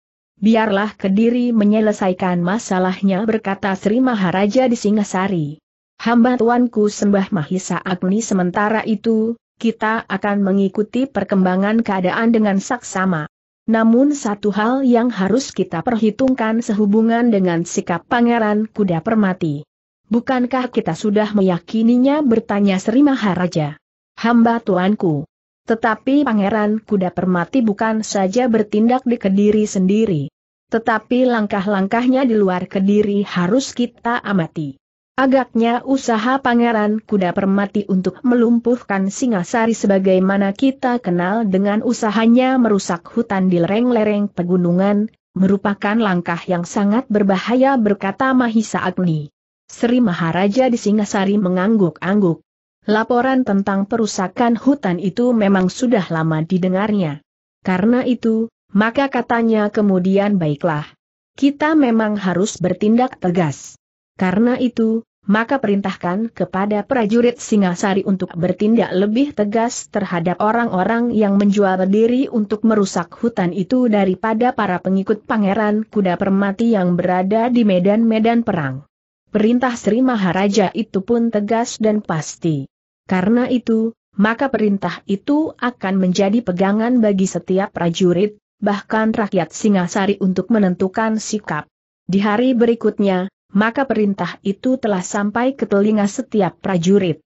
Jika sebelumnya Singasari masih memperhitungkan berbagai kemungkinan, maka untuk selanjutnya Singasari benar-benar bertindak tegas. Diperintahkan kepada setiap kabuyutan untuk membantu pengawasan atas lereng-lereng pegunungan. Para aku harus memerintahkan para pengawalnya meronda lereng-lereng hutan yang menjadi daerahnya. Jika ternyata mereka menjumpai kekuatan yang sulit untuk dipatahkan, maka mereka harus menghubungi pasukan Singasari yang ditempatkan di tempat-tempat tertentu khusus menghadapi sikap Pangeran Kuda Permati. Di luar lingkungan Kediri sendiri, maka Singasari ternyata benar-benar bertindak sesuai dengan perintah Sri Baginda. Beberapa kelompok berandal dan bahkan beberapa orang pemimpin padepokan yang terlampau mudah untuk menelan janji dan harapan-harapan harus menilai kembali langkah mereka setelah mereka mengetahui bahwa Singasari benar-benar bertindak dengan sikap keprajuritan. Para petugas sandi pun telah berkeliaran di padukuhan-padukuhan dan pasar-pasar. Jika mereka menjumpai pandai besi yang membuat kapak penebang kayu melampaui kewajaran, maka pandai-pandai besi itu akan diusut. Tindakan tegas Singasari itu, akhirnya sampai juga ke telinga Pangeran Kuda Permati, sejalan dengan sikap tegas Pangeran Singanarpada dan Panji Sempana Murti di Kediri. Sikap keras pemimpin-pemimpin Singasari dan para senapati di Kediri itu membuat Pangeran Kuda Permati menjadi semakin marah. Yang diharapkannya, terutama tidak terjadi. Singasari tidak mengirimkan pasukan ke Kediri yang akan dapat dipergunakannya sebagai alat untuk membakar hati rakyat Kediri yang sudah mulai dipengaruhinya. Tetapi yang terjadi adalah sikap keras orang-orang Kediri sendiri dan orang-orang Singasari di daerah luar Kediri. Licik geram pengeran kuda permati di tempat persembunyiannya yang dirahasiakan Singasari tidak berani mengirimkan pasukannya ke Kediri mereka hanya berani mengejar anak-anak ingusan yang bermain-main di lereng-lereng bukit. Sementara itu, mereka telah berusaha mengadu domba orang-orang Kediri. Dengan cerdik Pangeran Kuda Permati berhasil meyakinkan beberapa orang yang mempunyai pengaruh di lingkungan rakyat padukuhan, bahwa rakyat Kediri sedang diadu domba.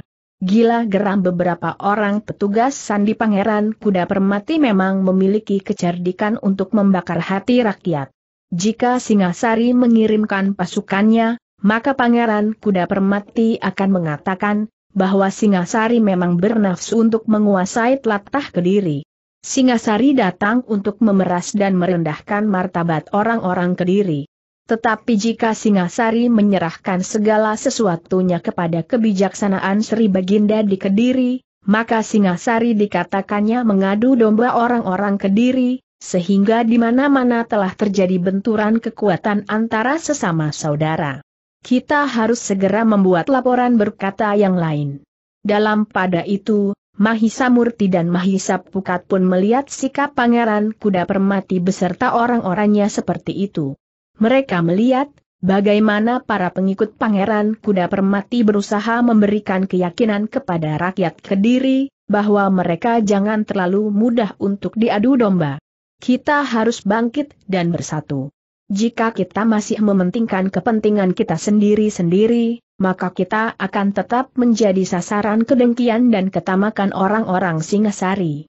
Kita akan menjadi ayam aduan yang akan saling membunuh di antara kita, sementara orang-orang Singasari pada saatnya akan datang untuk berbujana di atas mayat-mayat kita yang berserakan.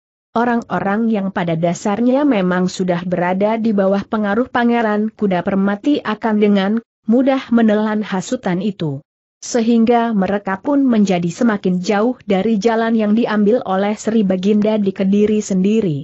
Namun dalam pada itu, Pangeran Singanar Padat telah menentukan langkahnya sendiri.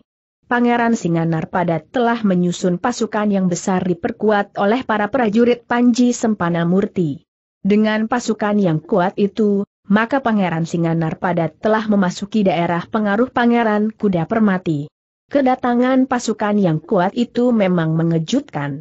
Tetapi sebagaimana yang pernah mereka lakukan, jika padukuhan-padukuhan yang berada di bawah pengaruh pangeran kuda permati itu didatangi oleh prajurit-prajurit kediri, maka para pengikut pangeran kuda permati itu telah hilang di antara para penghuni padukuhan itu.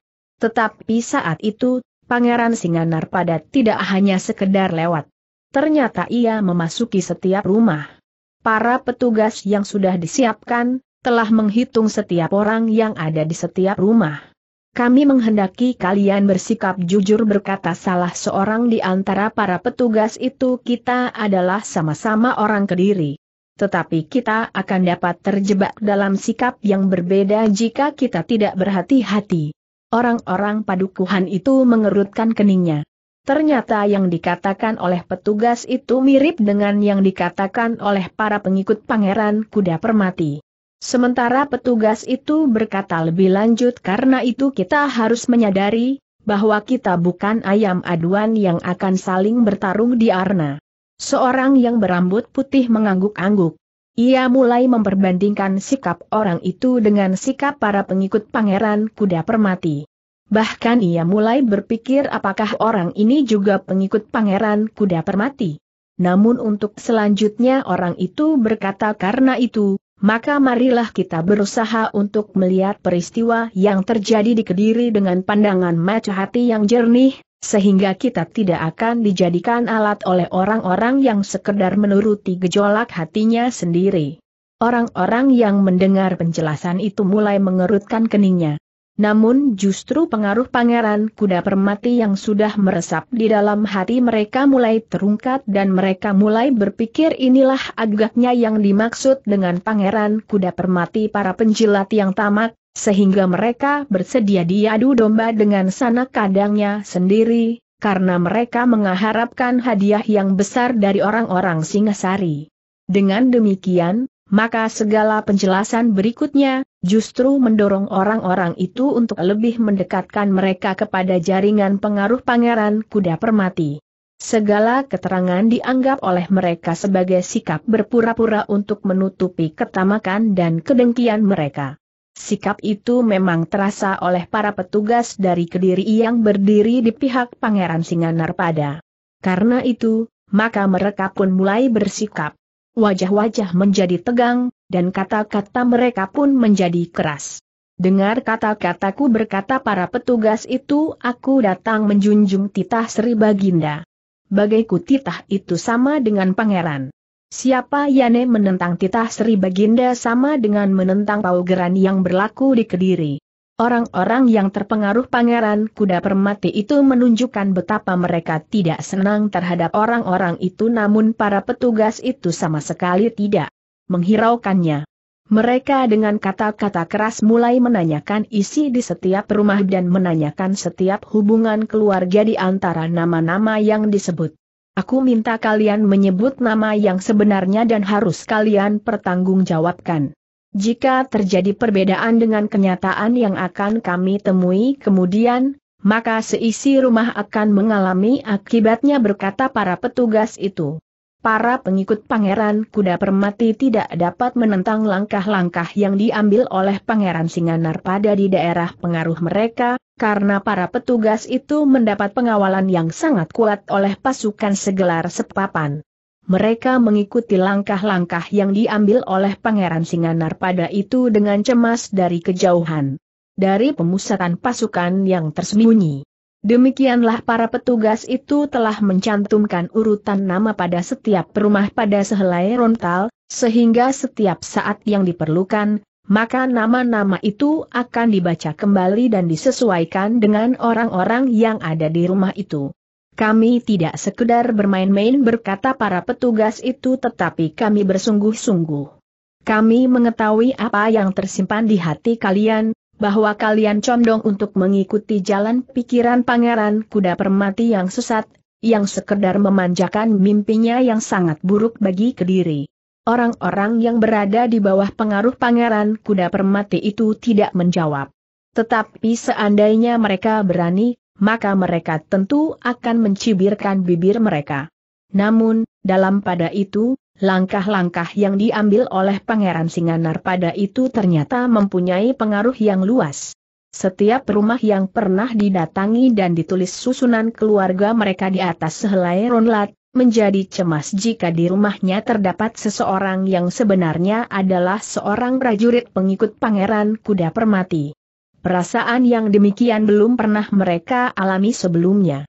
Mereka hanya menakut-nakuti berkata seorang prajurit pengikut Pangeran Kuda Permati. Namun orang-orang yang tinggal di padukuhan-padukuhan yang pernah didatangi oleh pasukan Pangeran Singanar pada tidak dapat menganggap bahwa yang dilakukan itu sekedar untuk menakut-nakuti. Karena itu, maka sikap mereka pun sudah mulai berubah. Meskipun mereka masih tetap berada di bawah pengaruh Pangeran Kuda Permati, tetapi mereka minta kepada para prajurit yang menjadi pengikut pangeran itu untuk memikirkan nasib mereka bersama keluarga mereka. Pangeran Kuda Permati yang mendapat laporan tentang langkah-langkah yang diambil oleh Pangeran Singanar pada itu pun menjadi sangat marah. Tetapi ia tidak boleh bertindak dengan kasar. Ia harus menyadari, bahwa orang-orang padukuhan itu tidak memiliki ketahanan wadah maupun jiwani sebagaimana seorang prajurit. Karena itu, maka yang harus dilakukan oleh Pangeran Kuda Permati adalah mempertebal pengaruh mereka kepada orang-orang padukuhan itu, agar mereka tidak terlepas dari ikatan yang sudah mereka bina sebelumnya. Namun sementara itu, maka Pangeran Singanar Pada pun tidak tinggal diam.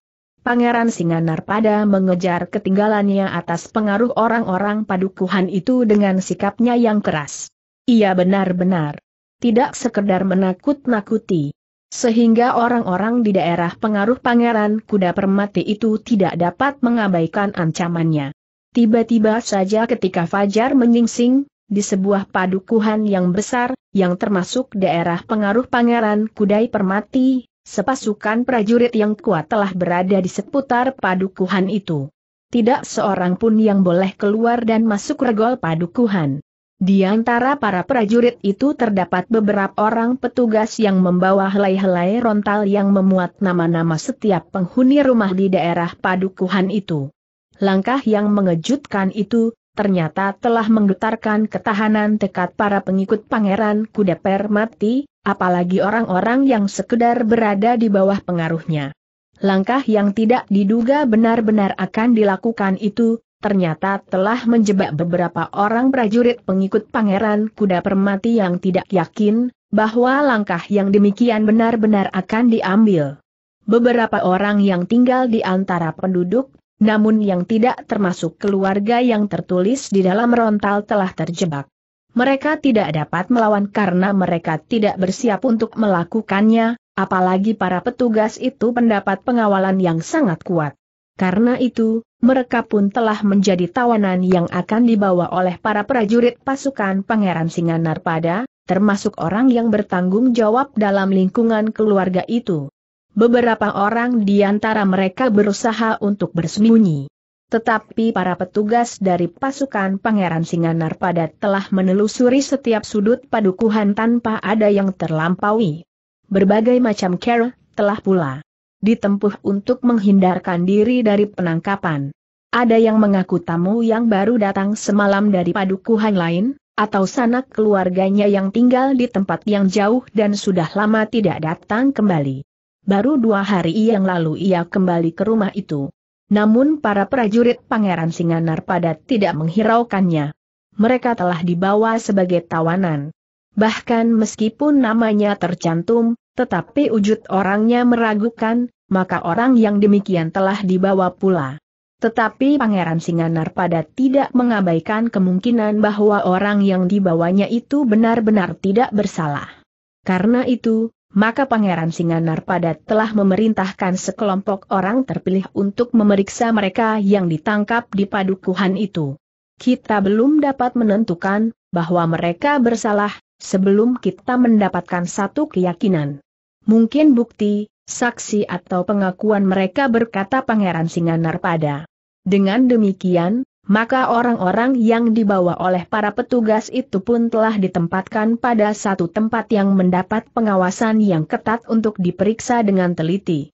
Namun dalam pada itu, betapa cermatnya langkah itu diambil, tetapi pada saat pasukan Pangeran Singanar pada mengepung padukuhan itu, ada juga orang yang dapat lolos dari tangan mereka. Dengan tergesa-gesa orang yang dapat menghindar lewat sebuah terowongan air di bawah rumpun-rumpun bambu yang rimbun, dengan tergesa-gesa telah menghubungi kawan-kawannya. Namun mereka tidak dapat berbuat banyak, kecuali membawa orang itu menghadap seorang perwira yang terpercaya dari Pangeran Kuda Permati. Gila geram perwira itu jadi Pangeran Singanar pada benar-benar mengambil langkah yang tidak masuk akal itu, Apakah dengan demikian ia tidak memikirkan kemungkinan-kemungkinan yang akan dapat menumbuhkan perlawanan yang lebih luas? Tetapi salah seorang di antara para pengikut itu justru berkata jika demikian, bukankah langkah itu akan menguntungkan kita meskipun kita harus mengorbankan beberapa orang di antara kita? Perwira itu mengerutkan keningnya. Sementara orang itu melanjutkan karena itu, Bukankah sebaiknya kita mendorong terjadinya peristiwa-peristiwa seperti itu? Kau memang dungu. Kita tidak boleh terlalu banyak mengorbankan kawan-kawan kita. Bagaimana seandainya kau yang terpilih menjadi korban? Orang itu termangu-mangu sejenak. Namun ia tidak menjawab. Demikianlah, maka hal itu pun segera dilaporkan kepada Pangeran Kuda Permati, yang sebagaimana perwira itu, telah terkejut karenanya. Pada saat Pangeran Singanarpada mendatangi setiap rumah untuk mengetahui jumlah isinya. Pangeran Kuda Permati sudah merasa tersinggung, apalagi lengah yang dengan cepat telah diambil oleh Pangeran Singanarpada itu. Karena itu, maka Pangeran Kuda Permati merasa terdorong untuk mengambil langkah-langkah untuk mengimbangi tindakan yang cepat dari Pangeran Singanarpada. Tetapi untuk melakukan kegiatan di sisi utara, Pangeran Kuda Permati terbentur oleh sikap yang keras PTLA dari Panji Sempana Murti. Panji Sempana Murti bukan saja mempersiapkan pasukannya untuk bergerak cepat, tetapi ia telah menyusun kekuatan di padukuhan-padukuhan yang berhadapan dengan daerah pengaruh Pangeran Kuda Permati. Daerah yang semula mampu melindungi kekuatan Pangeran Kuda Permati, sehingga merupakan alas loncatan para pengikutnya untuk melakukan tekanan dan bahkan kadang-kadang perampasan di daerah di luar daerah pengaruh mereka, terutama kuda-kuda yang tegar. Dengan kekuatan yang tersusun semakin lama semakin rapi, dibantu oleh para prajurit di bawah pimpinan Panji Sempana Murti, maka daerah perbatasan utara seakan-akan tidak memberikan kesempatan lagi bagi Pangeran Kuda Permati, Apalagi Pangeran Singanar Padat telah bukan saja bergerak di padukuhan-padukuhan yang berhadapan dengan daerah pengaruh Pangeran Kuda Permati, tetapi mereka telah memasuki dan mengkoyak-koyak kekuatan pengaruh Pangeran Kuda Permati itu. Karena itulah, maka Pangeran Kuda Permati telah merubah care perjuangannya. Ia tidak terikat pada satu tempat alas perjuangan tetapi ia sudah menyusun rencana-rencana baru yang akan dibicarakannya dengan para pengikutnya. Jadi kita akan selalu bergerak dan bergeser bertanya seorang perwiranya. Ya. Meskipun kita tetap mempunyai satu tempat yang terlindung sebagai alas perjuangan kita dalam keseluruhan, namun kita akan membagi kekuatan dan bergerak di segala sudut tanah mi sebagaimana kita sudah bergerak justru di Singasari dengan menugaskan beberapa kelompok di antara kita untuk memperlemah kedudukan Singasari lewat kekuatan alam yang kita manfaatkan dengan membuat lereng-lereng gunung kehilangan perlindungan berkata Pangeran Kuda Permati para senapatinya pun segera mendapat perintah untuk merenungi rencana itu, sehingga pada satu saat, Pangeran Kuda Permati telah memanggil mereka untuk membicarakannya. Memang ada perbedaan pendapat di antara para senapati dan para prajurit yang berpihak kepada Pangeran Kuda Permati namun akhirnya Pangeran Kuda Permati berhasil meyakinkan mereka, bahwa tidak ada gunanya untuk tetap berada di suatu alas perjuangan menghadapi kekuatan yang besar, sebagaimana kekuatan Pangeran Singanarpada yang keras dan Panji Sempana Murti yang selain keras, juga cerdik. Panji Sempana Murti berhasil menyusun kekuatan di padukuhan-padukuhan untuk menghadapi kekuatan Pangeran Kuda Permati, sehingga padukuhan-padukuhan itu tidak lagi dapat dijadikan sumber persediaan makam dan kebutuhan-kebutuhan lain, karena kelompok-kelompok kecil pengikut Pangeran Kuda Permati yang berani memasuki padukuhan itu tentu akan dihadapi oleh para penghuninya, terutama anak-anak mudanya dan laki-laki yang masih mampu mengangkat senjata. Sementara jika datang kekuatan yang lebih besar, maka mereka akan membunyikan isyarat dengan kentonan, sehingga dalam waktu yang pendek pasukan berkuda Panji Sempana Murti dan Pangeran Singanar pada akan berdatangan. Karena itulah, maka Pangeran Kuda Permati kemudian mengambil satu keputusan bahwa alas perjuangannya akan berpindah. Bahkan pasukannya tidak akan menetap lagi di tempat-tempat yang terlindung oleh bayangan penghuni setiap padukuhan, karena Pangeran Singanar pada telah memasuki bukan saja padukuhan-padukuhan, tetapi rumah demi rumah. Kita akan berada di sini yang lemah dari daerah perbatasan berkata Pangeran Kuda Permati sementara daerah itu diperkuat, kita akan mengambil tempat yang lain. Aku yakin, bahwa Kediri tidak akan dapat membentengi kota raja dengan satu lingkaran penuh. Pada satu saat, kita akan memilih dinding yang paling lemah. Satu kali, kita akan menyerang memasuki kota raja. Apakah kita akan merebut kota raja berkata salah seorang perwiranya.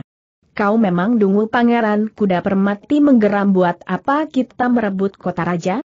Kita akan menguasainya untuk beberapa saat, namun cukup waktu untuk menjadikan kota raja menjadi karang abang.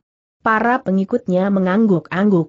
Tetapi ada di antara mereka yang berbisik di telinga kawannya lalu apakah sebenarnya yang diinginkan oleh Pangeran Kuda Permati? Bukankah kota raja merupakan satu-satunya pusat pemerintahan?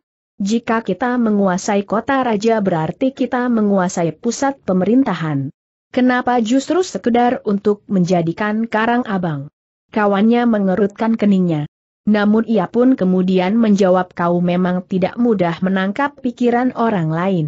Jika kota raja itu menjadi karang, abang, maka pertanda bahwa pemerintahan Kediri yang sekarang itu sudah tidak ada. Harus dibangun Kediri yang baru.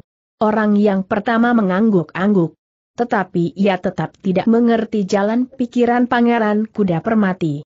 Dalam pada itu, maka Pangeran Kuda Permati pun dengan cepat melaksanakan rencananya yang sudah disepakati oleh para senapatinya. Dengan demikian, maka gerakan Pangeran Kuda Permati itu telah mengejutkan para prajurit Kediri.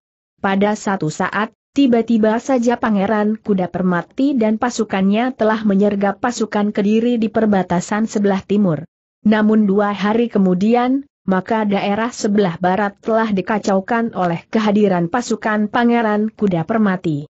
Namun dalam pada itu, Kiwaruju telah mendengar sikap Pangeran Kuda Permati itu dari seseorang yang sering membual bersamanya di warung-warung di sekitar pasar-pasar hewan. Dalam keadaan mabuk maka orang itu menceritakan rencana yang akan diambil oleh Pangeran Kuda Permati. Dengan demikian, maka rencana itu pun segera sampai pula kepada Pugut Rawe, lewat Mahisa Murti dan Mahisa Pukat. Satu rencana yang sangat berbahaya berkata Pugutrawe hal ini harus segera sampai kepada Pangeran Singanarpada. Tetapi jalur lurus antara para petugas sandi dari Singasari dan para prajurit dari Kediri tidak ada. Karena itu, ia mempergunakan petugasnya yang ada di dalam pasukan Pangeran Singanarpada, meskipun orang itu agak sulit untuk meyakinkannya. Namun, demikian perbatasan di sebelah timur mendapat sergapan dari pasukan Pangeran Kuda Permati, maka dengan segera Pangeran Singanarpada menghubungkan hal itu dengan rencana Pangeran Kuda Permati yang pernah didengarnya. Benar geramnya Kuda Permati mempergunakan akal yang licik itu namun Pangeran Singanarpada tidak mau ketinggalan. Dengan serta-merta ia memanggil beberapa orang pengikut Pangeran Kuda Permati yang tertawan dengan caranya, Pangeran Singanarpada memaksa orang itu untuk mengatakan, di mana landasan utama Pangeran Kuda Permati. Tetapi dari orang-orang itu Pangeran Singanarpada telah mendapatkan beberapa nama dari orang-orang yang dianggapnya mengetahuinya, sehingga jika Pangeran Singanarpada dapat berbicara dengan orang-orang itu, maka ia akan dapat menemukan persembunyian Pangeran Kuda Permati yang sangat dirahasiakannya itu.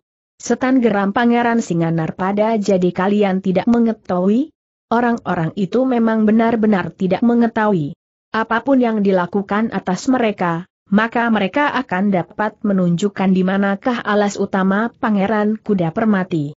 Orang itu tidak tahu bahwa Pangeran Kuda Permati telah mengambil satu langkah yang lain. Namun bagaimanapun juga ia bertahan, akhirnya terloncat pula dari mulutnya, nama-nama orang yang dianggap mengerti tentang landasan utama Pangeran Kuda Permati. Ternyata bahwa Pangeran Singanar pada tidak mau menyerah. Dengan telaten ia mengusut setiap nama dari orang-orang yang ditawannya dan yang pernah ditawan oleh Panji Sempana Murti, sehingga akhirnya, Pangeran Singanarpada telah menemukan seseorang yang namanya disebut oleh para tawanan sebagai orang yang mengetahui serba sedikit tentang seluk-beluk persembunyian itu. Ketika orang itu kemudian dihadapkan kepada Pangeran Singanarpada, maka wajahnya telah menjadi basah oleh keringat yang mengembun dari seluruh lubang-lubang di kulit mukanya. Kau kenal aku bertanya Pangeran Singanarpada. Ya, Pangeran jawab orang itu. Bukankah kau orang yang bernama Tunda Data bertanya Pangeran Singanarpada. Ya, Pangeran jawab orang itu. Nah, kau tidak perlu mempersulit tugasku dan menyakiti dirimu sendiri. Sebut, di mana landasan perjuangan Pangeran Kuda Permati? Tegasnya, di mana persembunyiannya pribadi? Orang yang bernama Tunda Data itu menyadari apa yang dapat terjadi dengan dirinya. Karena itu, maka ia pun tidak banyak berputar-putar. Apalagi menurut pendapatnya, perjuangan Pangeran Kuda Permati telah menjadi semakin terdesak oleh sikap keras Pangeran Singanarpada dan Panji Sempana Murti. Selebihnya, ternyata Tunda Data tidak mempunyai keteguhan hati sebagaimana yang diharapkan oleh Pangeran Kuda Permati. Dengan demikian, maka sikap Pangeran Singanar pada itu telah mengguncangkan jiwanya. Tunda Data berkata Pangeran Singanar pada aku kira kau memang seorang kepercayaan kuda permati. Karena itu, maka aku pun akan memperlakukan kau seperti itu. Untuk mendengar keterangan dari mulutmu, memang diperlukan sikap yang khusus sebagaimana aku bersikap terhadap orang-orang yang pernah ditempa untuk menjadi seorang kepercayaan pemimpinnya. Wajah Tunda Data menjadi semakin pucat. Dan keringat pun menjadi semakin deras mengalir. Mungkin kau akan terpaksa kehilangan nalar dan kemampuanmu berpikir, sehingga kau akan terpaksa berbuat menurut nalurimu saja berkata Pangeran Singanar pada. Jantung Tunda Data terasa seakan-akan berhenti berdetak. Ia mengenal Pangeran Singanar pada, sehingga karena itu, maka apa yang dikatakan itu bukan sekedar untuk menakut-nakuti. Tetapi ia akan dapat berbuat sebagaimana dikatakannya. Tentu hal seperti itu tidak akan dilakukan atas Pangeran Lembu Sabdata berkata Tunda Data di dalam hatinya. Karena itu, maka akhirnya Tunda Data tidak menunggu tubuhnya menjadi kehilangan bentuk.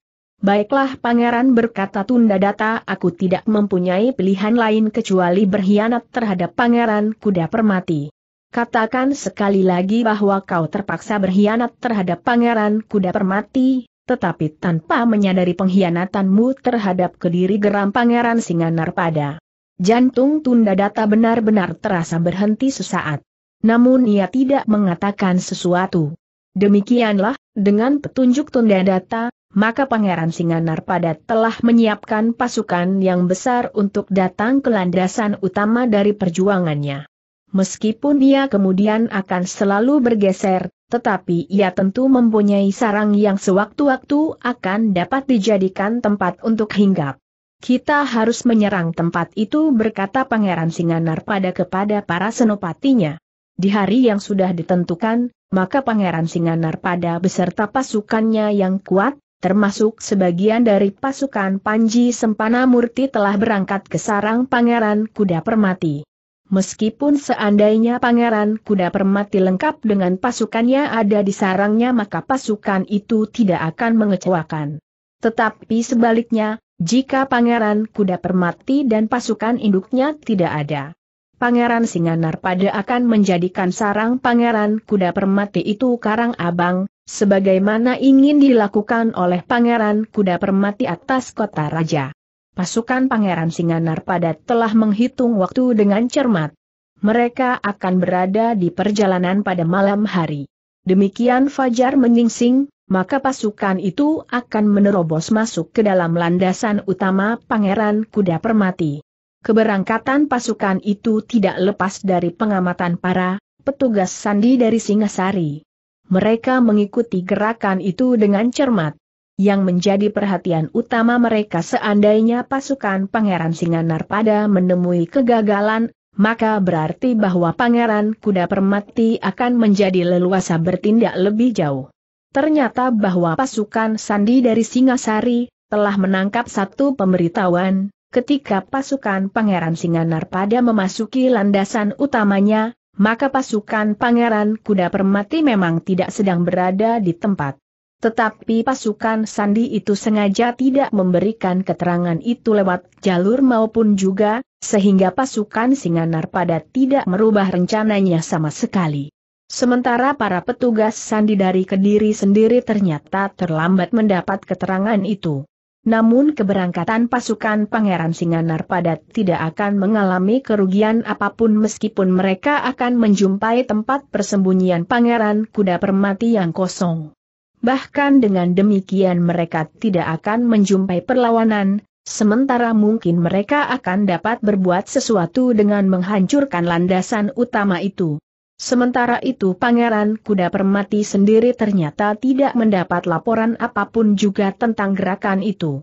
Ternyata para senopati dari pasukan Pangeran Singanar pada mampu memegang rahasia keberangkatannya itu dengan baik sehingga tidak tersadap para petugas sandi dari pasukan lawan. Karena itu, maka baik Pangeran Kuda Permati, maupun mereka yang berada di sarang utama Pangeran Kuda Permati tidak menyadari, bahwa sepasukan yang kuat sedang merayap mendekati di dalam gelapnya malam. Dengan petunjuk tunda data yang merasa dirinya sebagai seorang pengkhianat terhadap Pangeran Kuda Permati, pasukan yang besar itu mendekati sasaran menjelang fajar. Mereka pun segera mengepung landasan utama itu dan sebelum matahari terbit, mereka masih sempat beristirahat barang sejenak. Tetapi sebagaimana direncanakan, maka ketika langit dibayangi oleh cahaya pagi, maka pasukan itu telah bersiap. Mereka akan mendapat isyarat yang akan memberikan perintah kepada mereka untuk bergerak. Dengan tegang para prajurit itu pun bersiap. Justru pada saat terakhir, seorang petugas sandi datang melaporkan, bahwa sasaran itu ternyata tidak ditunggui oleh induk pasukan Pangeran Kuda Permati. Tetapi Pangeran Singanar pada tidak merubah gelar pasukannya. Sehingga demikian matahari mulai nampak di batas cakrawala, maka telah terdengar isyarat yang ditunggu. Suara sangkala bersambut telah terdengar memutari sasaran. Demikianlah, maka pasukan yang kuat itu mulai bergerak. Sebenarnya lah bahwa landasan utama yang tersembunyi itu, sedang ditinggalkan oleh induk pasukan Pangeran Kuda Permati yang bergeser ke perbatasan selatan. Pada saat yang bersamaan, Pangeran Kuda Permati telah memasuki sebuah padukuhan di daerah perbatasan selatan.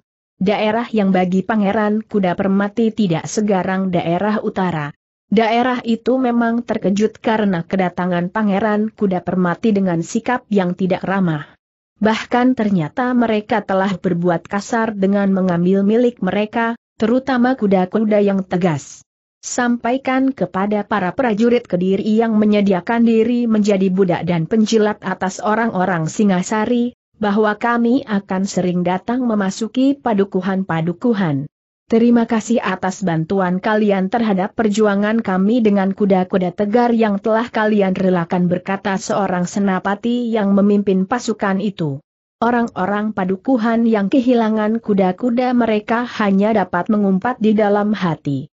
Namun demikian pasukan Pangeran Kuda Permati itu meninggalkan padukuhan mereka, maka mereka pun segera telah berusaha untuk menghubungi para prajurit Kediri di daerah selatan yang memang kurang siap menghadapi persoalan itu meskipun mereka sudah mendapat isyarat bahwa hal yang demikian mungkin akan terjadi, ketika para Petugas Sandi menangkap isyarat bahwa pasukan Pangeran Kuda Permati akan merubah caranya menghadapi pasukan Kediri. Namun dalam pada itu, sebenarnya lah landasan utama pasukan Pangeran Kuda Permati yang tersembunyi dan dirahasiakan itu ternyata telah dapat diketemukan oleh Pangeran Singanarpada.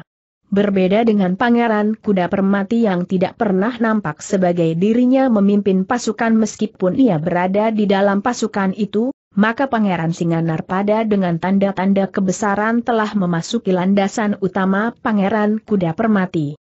Tidak banyak perlawanan yang didapatkannya. Sepasukan pengawal yang terkejut telah berjuang dengan sekuat tenaga. Tetapi perlawanan mereka tidak lama, karena jumlah mereka memang terlalu sedikit menghadapi pasukan Pangeran Singanarpada yang keras. Sehingga beberapa saat kemudian, sebagian dari mereka yang masih hidup telah tertawan. Namun ternyata Pangeran Singanarpada sendiri telah menjumpai sesuatu yang tidak pernah diduganya.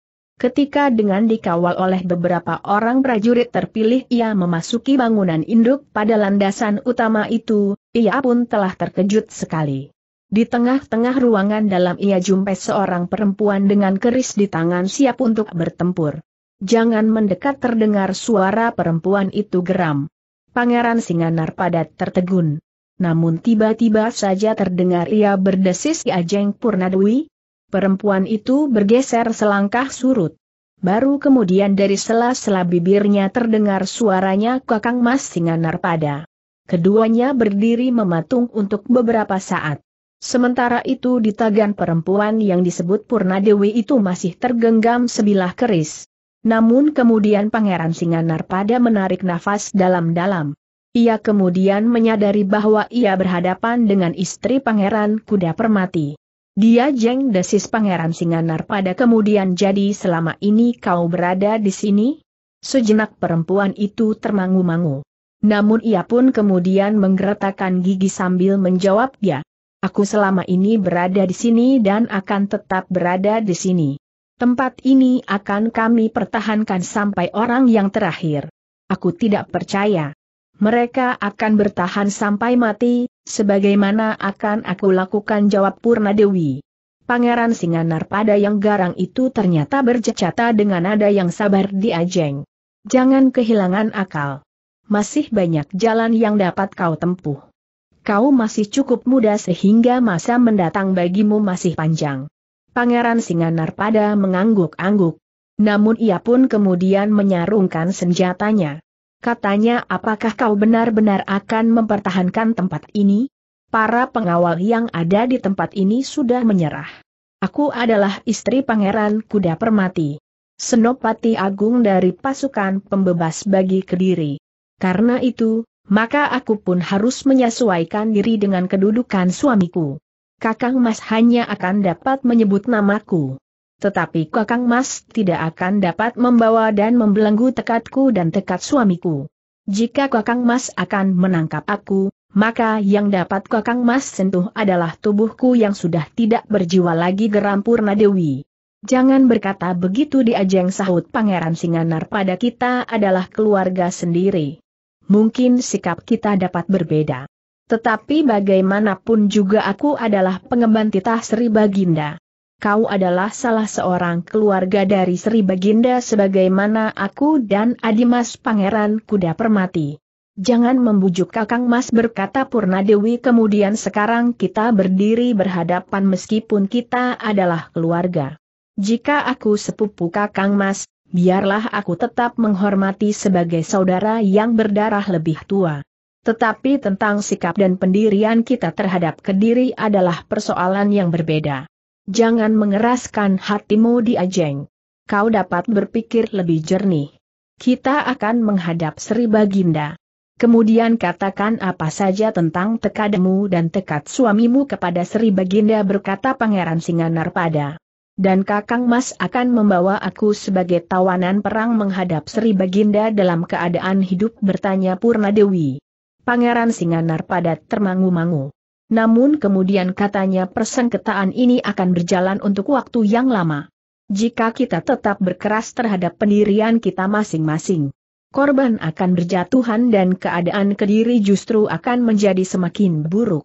Itu adalah kesalahan kalian jawab Purnadewi jika kalian tidak menjadi alat orang-orang Singasari, maka kediri akan bangkit. Tetapi kalian tidak menyadari kebesaran kediri sebagaimana kita dengar pada saat Tumapel belum berkhianat. Tetapi pengkhianatan itu telah merubah kediri menjadi daerah mati. Sedangkan pengkhianatan itu berlangsung terus dari masa ke masa. Dan, titik agaknya sekarang pun telah terjadi pengkhianatan sehingga Kakang Mas Singanar pada dapat menemukan tempat ini. Jangan menyesali sikap yang berbeda di antara kita berkata Pangeran Singanar pada jangan pula menyesali orang yang telah menyadari kesalahan langkahnya dan menunjukkan tempat ini. Namun yang penting, apakah kita memang benar-benar tidak dapat menemukan satu titik yang paling baik bagi Kediri dalam keadaan sekarang ini? Sudah aku katakan jawab Purna Dewi jika kalian dapat merubah sikap kalian dan berada di dalam satu barisan dengan kami, maka segalanya akan berakhir dengan baik. Kediri akan berdiri sebagai satu kekuatan yang tidak terkalahkan. Apa artinya kekuatan yang tidak terkalahkan? Dan untuk apakah kekuatan itu bertanya Pangeran Singanar pada Singasari harus tunduk di bawah perintah Kediri jawab Purna Dewi. Dan peristiwa yang serupa akan terulang. Singasarilah yang akan bergolak sehingga pada suatu saat, Singasari dapat mengalahkan Kediri atau kekuatan lain yang akan timbul jawab Pangeran Singanar pada karena itu, maka kita harus melihat dari sisi yang lain. Kita adalah keluarga besar yang satu, di mana pun pusat kekuasaan berada. Di Singasari atau di Kediri atau di Gagelang atau di tempat lain. Jika kita dapat hidup saling menghormati sebagaimana layaknya keluarga yang besar, maka pusat pemerintahan bukan soal yang harus dipertentangkan. Kecuali jika yang satu berusaha menghisap yang lain serta memperbudaknya, maka persoalannya akan berbeda. Tetapi yang kita hadapi sekarang ini adalah satu keluarga besar yang saling mengerti, bertenggang rasa dan saling menghormati. Wajah Purnadewi menegang. Namun kemudian jawabnya aku mendengar alasan seperti itu dari orang-orang yang tidak bersikap, sebagaimana Kakang Mas Singanar pada. Kata-kata itu benar-benar menyinggung perasaan Pangeran Singanar pada yang keras hati. Namun yang dihadapinya adalah seorang perempuan bukan pangeran kuda permati sendiri. Karena itu, maka ia masih berusaha untuk mengekang diri. Bahkan kemudian dengan nada sareh ia bertanya di Ajeng. Sebenarnya aku dapat mengerti sikap Li Ajeng sebagai istri pangeran kuda permati yang berdiri atas satu keyakinan, tanpa menghiraukan kenyataan yang dihadapinya, tetapi apakah memang demikian sikap Li Ajeng sendiri? Selama ini Di Ajeng sudah merasakan betapa pahit getirnya bermusuhan di antara sesama kadang sendiri. Dan barangkali Di Ajeng Purnadewi juga mengerti gejolak perasaan Pangeran Kuda Permati yang sebenarnya atas keyakinannya. Cukup Purnadewi itu berteriak sambil mengacukan keris di tangannya jangan kakang mas mengira bahwa aku tidak akan berani menghujamkan keris ini di dada kakang mas. Aku percaya di Ajeng. Keadaan yang selama ini membelenggumu telah menempa jiwamu menjadi seorang perempuan yang keras sahut Pangeran Singanarpada tetapi yang aku tanyakan, apakah sikap suamimu sesuai dengan sikap nuranimu yang mendasar? Diam Purna Dewi itu berteriak pula Kakang Mas harus tahu. Aku adalah seorang istri yang setia. Aku tahu di Ajeng. Justru karena sikapmu menunjukkan bahwa kau adalah seorang istri yang setia Betapapun sulitnya, pahitnya dan pedihnya hidup dalam pertentangan yang tidak berujung pangkal, kau tetap mendampingi Pangeran Kuda Permati. Tetapi yang ingin aku ketahui bukan kesetiaanmu. Aku yakin akan kesetiaanmu itu, sehingga akan dapat menjadi tauladan setiap perempuan di Kediri. Tetapi yang aku tanyakan adalah sikap nuranimu.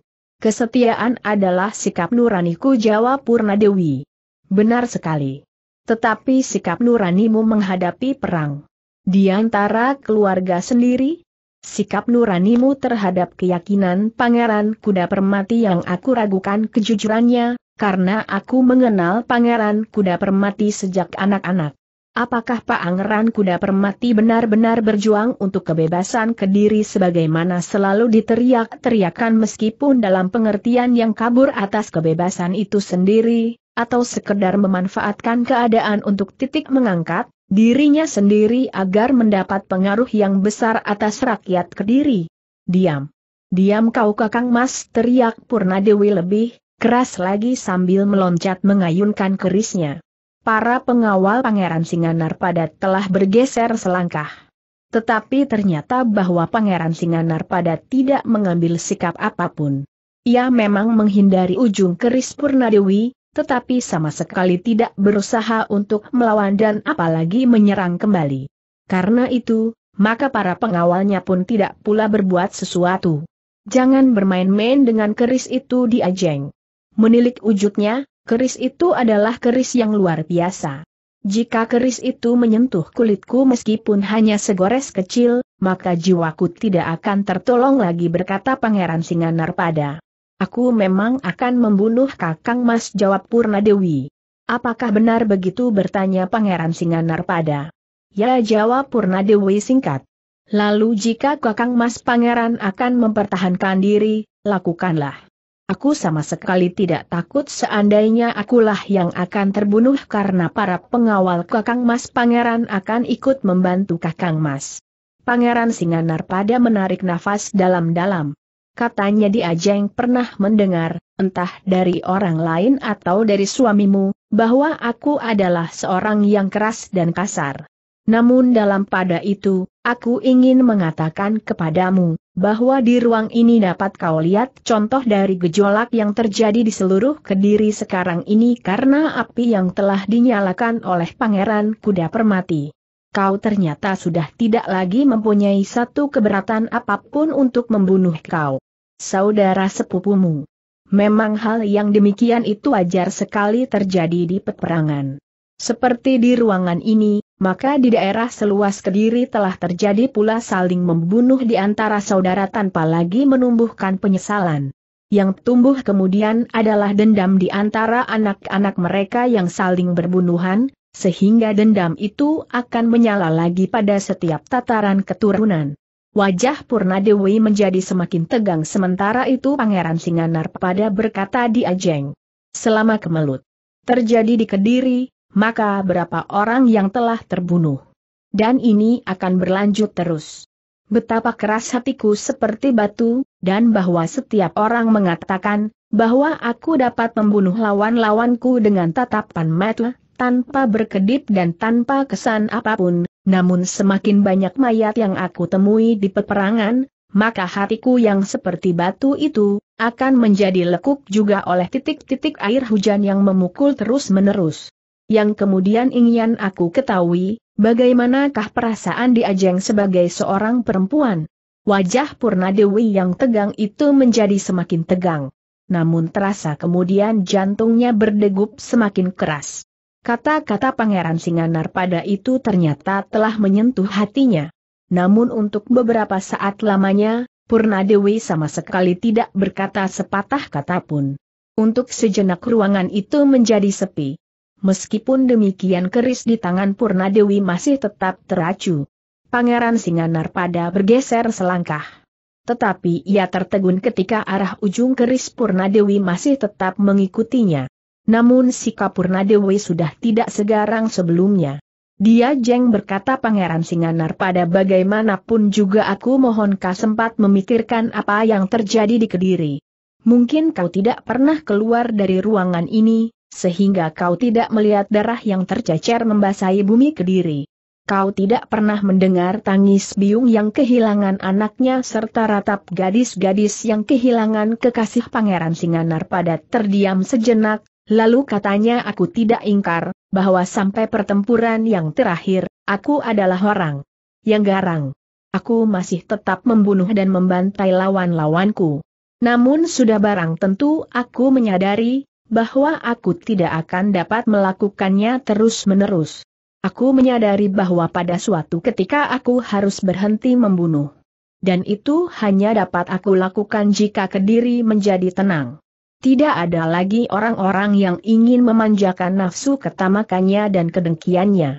Purna Dewi memandang wajah Pangeran Singanar pada sejenak. Namun ia pun kemudian menundukkan kepalanya perlahan-lahan. Pangeran Singanar pada adalah seorang yang memiliki pengalaman yang luas. Sikap Purna Dewi memberikan isyarat kepadanya, bahwa kata-katanya berhasil menyentuh hati perempuan itu. Karena itu, maka katanya pula diajeng. Pintu masih terbuka.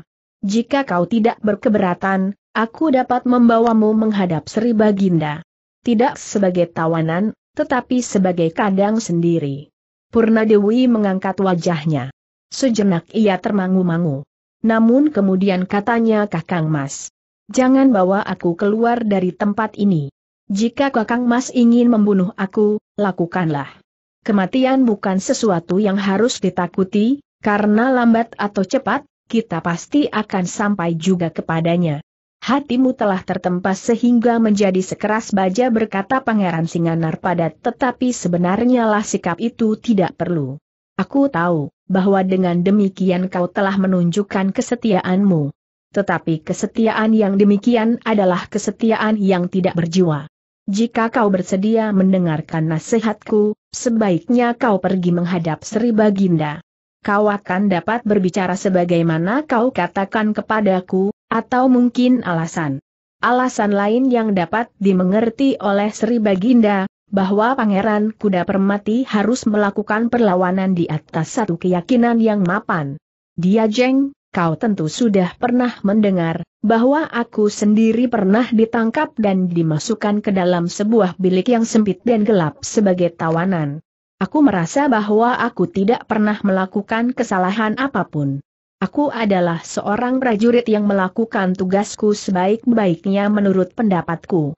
Namun Sri Baginda ternyata berpendapat lain. Menurut pendapat Sri Baginda, adalah seekor singa yang gila di medan perang.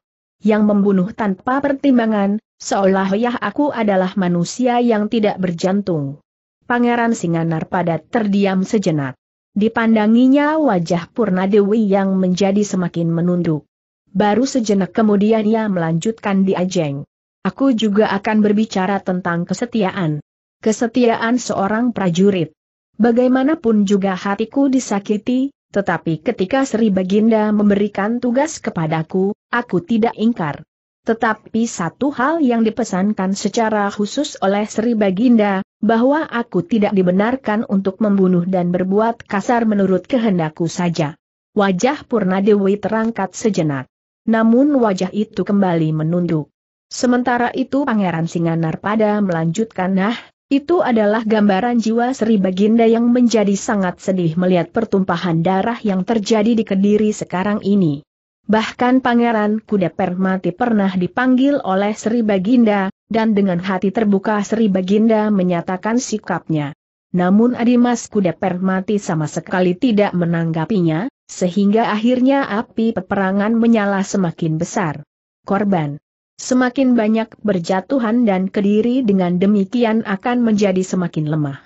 Ujung keris di tangan Purna Dewi pun menjadi semakin menunduk sehingga dengan demikian, maka Pangeran Singanar pada pun menjadi semakin yakin, bahwa ia akan berhasil membujuk adik sepupunya itu. Katanya kemudian tetapi di Ajeng. Aku tidak tahu, apakah aku dapat memenuhi keinginan Sri Baginda. Meskipun sudah aku pertimbangkan semasak-masaknya, bahwa aku ingin bersikap sebagaimana dikehendaki oleh Sri Baginda, namun jika aku sudah turun ke EUE dan maka persoalannya akan menjadi lain. Darahku serasa telah mendidih dan nalarku menjadi buntu. Aku kehilangan kemampuan untuk mengingat pesan itu. Tetapi aku kira bukan aku saja yang berbuat demikian. Orang lain pun akan dapat terjebak dalam sikap serupa. Sehingga karena itu, maka kematian tidak terbendung lagi. Adalah di luar dugaan Pangeran Singanar pada bahwa tiba-tiba saja Purna Dewi telah melepaskan kerisnya tubuhnya seakan-akan menjadi lemah, sehingga ia telah jatuh pada lututnya. Sambil menutup wajahnya, maka Purna Dewi itu telah menangis. Perlahan-lahan Pangeran Singanar pada mendekatinya sambil berkata di Ajeng. Kenalilah dirimu sendiri. Kau adalah seorang putri yang memiliki kehalusan budi. Karena itu, aku tahu apa kata nuranimu menghadapi peperangan yang sudah cukup membakar kediri.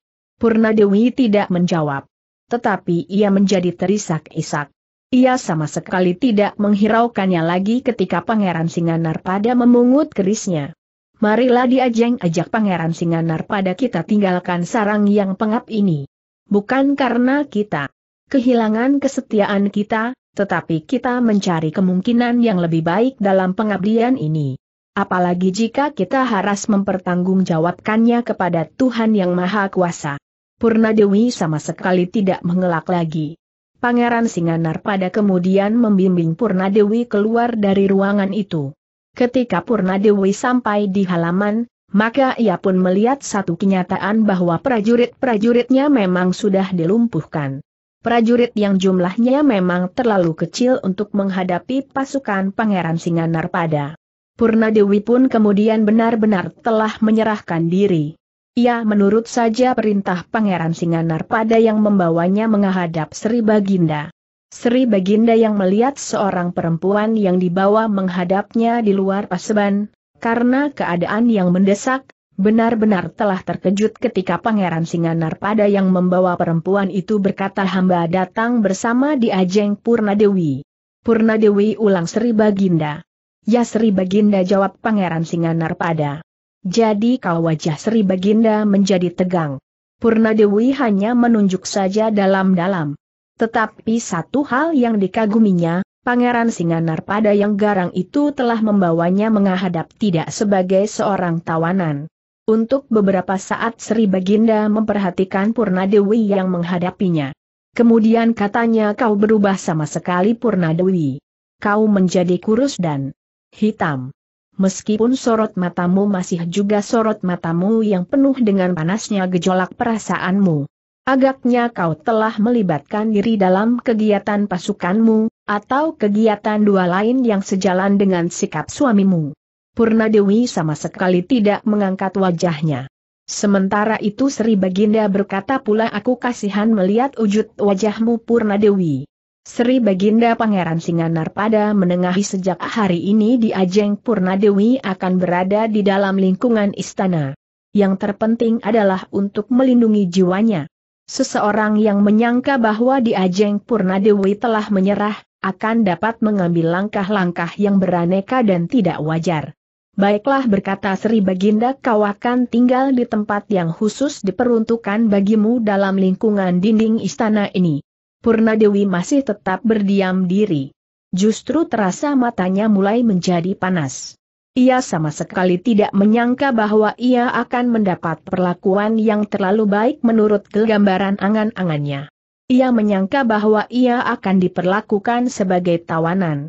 Diperlakukan sebagai seorang budak yang harus berbuat apa saja menurut perintah tuannya. Tetapi baik Pangeran Singanar pada, maupun Sri Baginda sendiri tidak memperlakukannya seperti itu. Bahkan ia masih tetap mempunyai kedudukan yang terhormat sebagaimana sepupu Sri Baginda sendiri. Purna Dewi tidak terlalu lama menghadapi Sri Baginda. Ia sama sekali tidak berkata sepatah kata pun juga. Agaknya Sri Baginda pun memaklumi sikapnya, sehingga karena itu maka Sri Baginda pun berkata bawalah Purna Dewi ke tempat yang akan disediakan baginya. Biarlah ia beristirahat.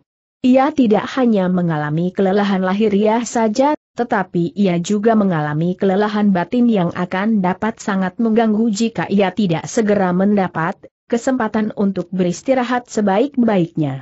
Pangeran Singanarpada pun kemudian menyerahkan Purnadewi kepada orang-orang yang bertugas untuk melayaninya. Dua orang perempuan akan selalu berada di dekatnya untuk mengawaninya dan melakukan segala perintahnya. Sebenarnya lah, Purnadewi yang mendapat tempat yang jauh lebih baik dari tempatnya sendiri di lingkungan sarang para pengikut suaminya, mulai memikirkan langkah-langkah yang pernah diambilnya selama itu. Bahkan ia sempat heran kepada diri sendiri, bahwa pandangannya terhadap dunia di luar sarang para pengikut suaminya itu menjadi terlalu sempit, sehingga karena itu, ia tidak mendapat kegambaran yang benar tentang keadaan di sekitarnya di sekitar istana dan di sekitar kota raja. Sementara itu, ketika Purna Dewi telah mulai mapan, Sri Baginda telah berbicara dengan Pangeran Singanar pada tentang kemungkinan-kemungkinan yang dapat ditempuh menghadapi perkembangan keadaan yang semakin memuncak. Apakah Purna Dewi dapat membantu menyelesaikan perang yang berkecamuk tanpa akhir ini berkata Sri Baginda. Kita akan mencoba jika Purna Dewi sendiri setuju Sri Baginda. Jalan yang harus ditempuh adalah jalan yang agak sulit untuk dilewati. Tetapi jika ia bersedia, maka tentu akan ada jalan untuk memecahkan kesulitan itu jawab Pangeran Singanarpada. Namun dalam pada itu, laporan tentang sergapan Pangeran Singanarpada ke sarang pasukannya telah didengar pula oleh Pangeran Kuda Permati. Demikian ia mendengar bahwa Pangeran Singanarpada menemukan sarangnya, telah membuatnya menjadi seperti gila. Betapapun marahnya Pangeran Kuda Permati, namun ia tidak tahu kepada siapa ia harus menumpahkan kemarahannya itu. Meskipun dia sadar, bahwa tentu ada seorang pengkhianat yang telah menunjukkan sarangnya itu kepada lawan. Ada beberapa orang yang tertawan berkata salah seorang kepercayaannya tentu satu di antara mereka tidak dapat menahan diri untuk berterus terang. Ia adalah pengkhianat geram pangeran kuda permati.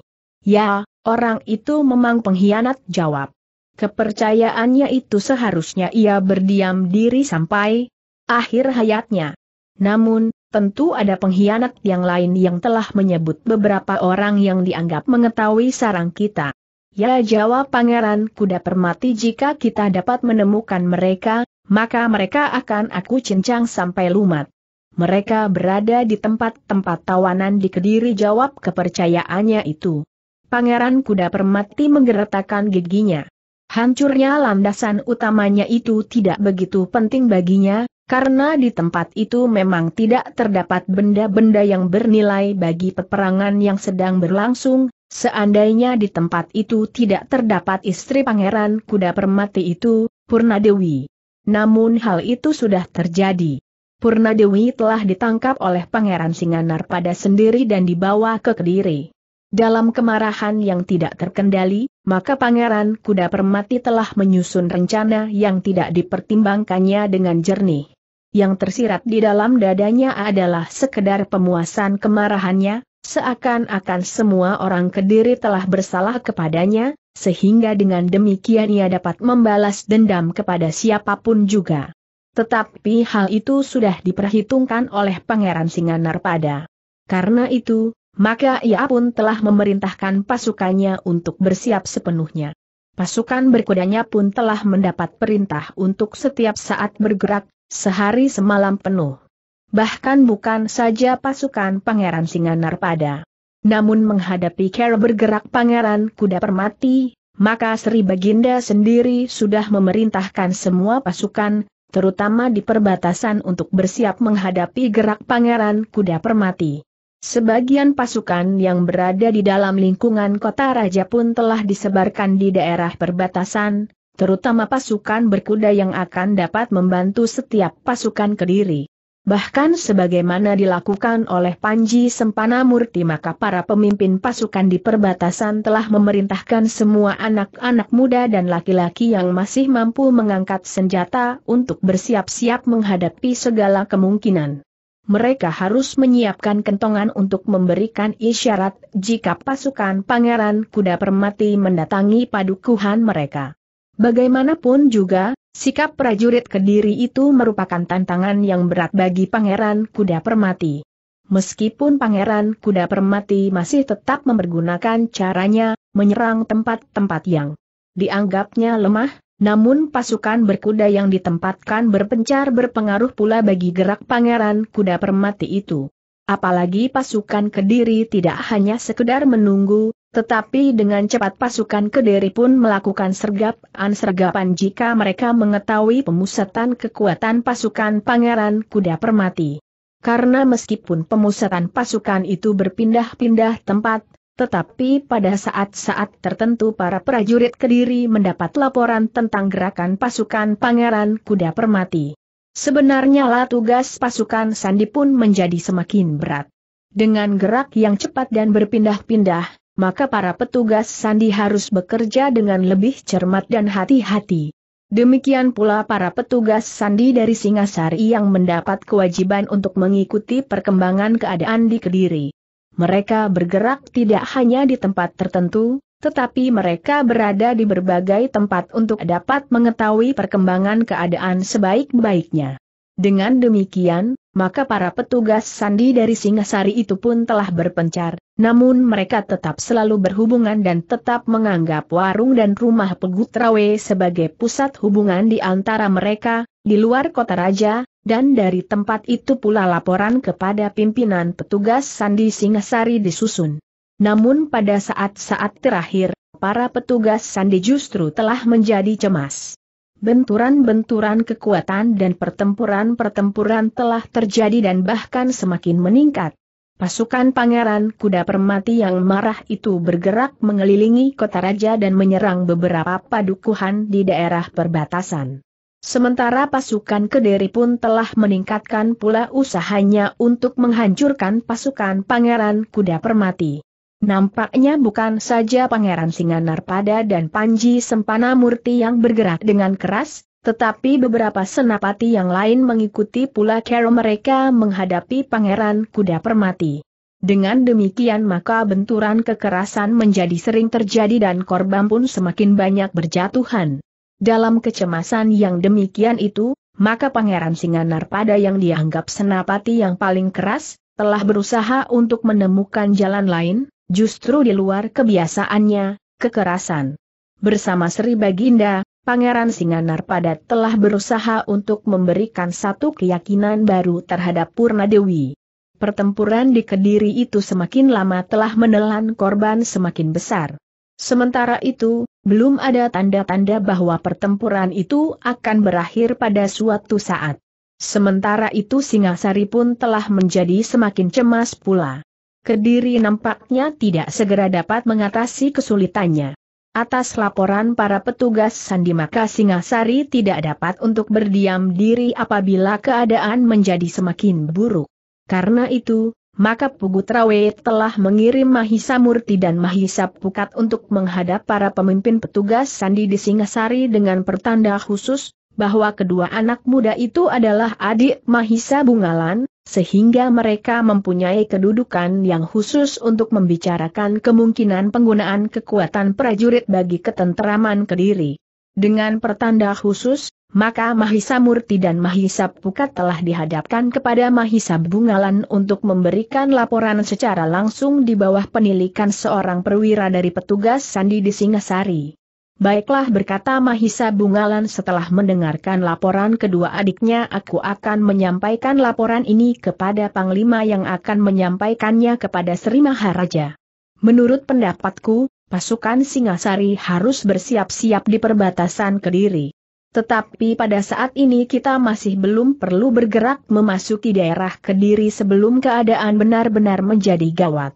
Jika Sri Baginda dengan pasukannya benar-benar tidak dapat menguasai pemberontakan Pangeran Kuda Permati sehingga keadaan kota Raja terancam, maka pasukan Singasari akan berada di kota Raja Kediri.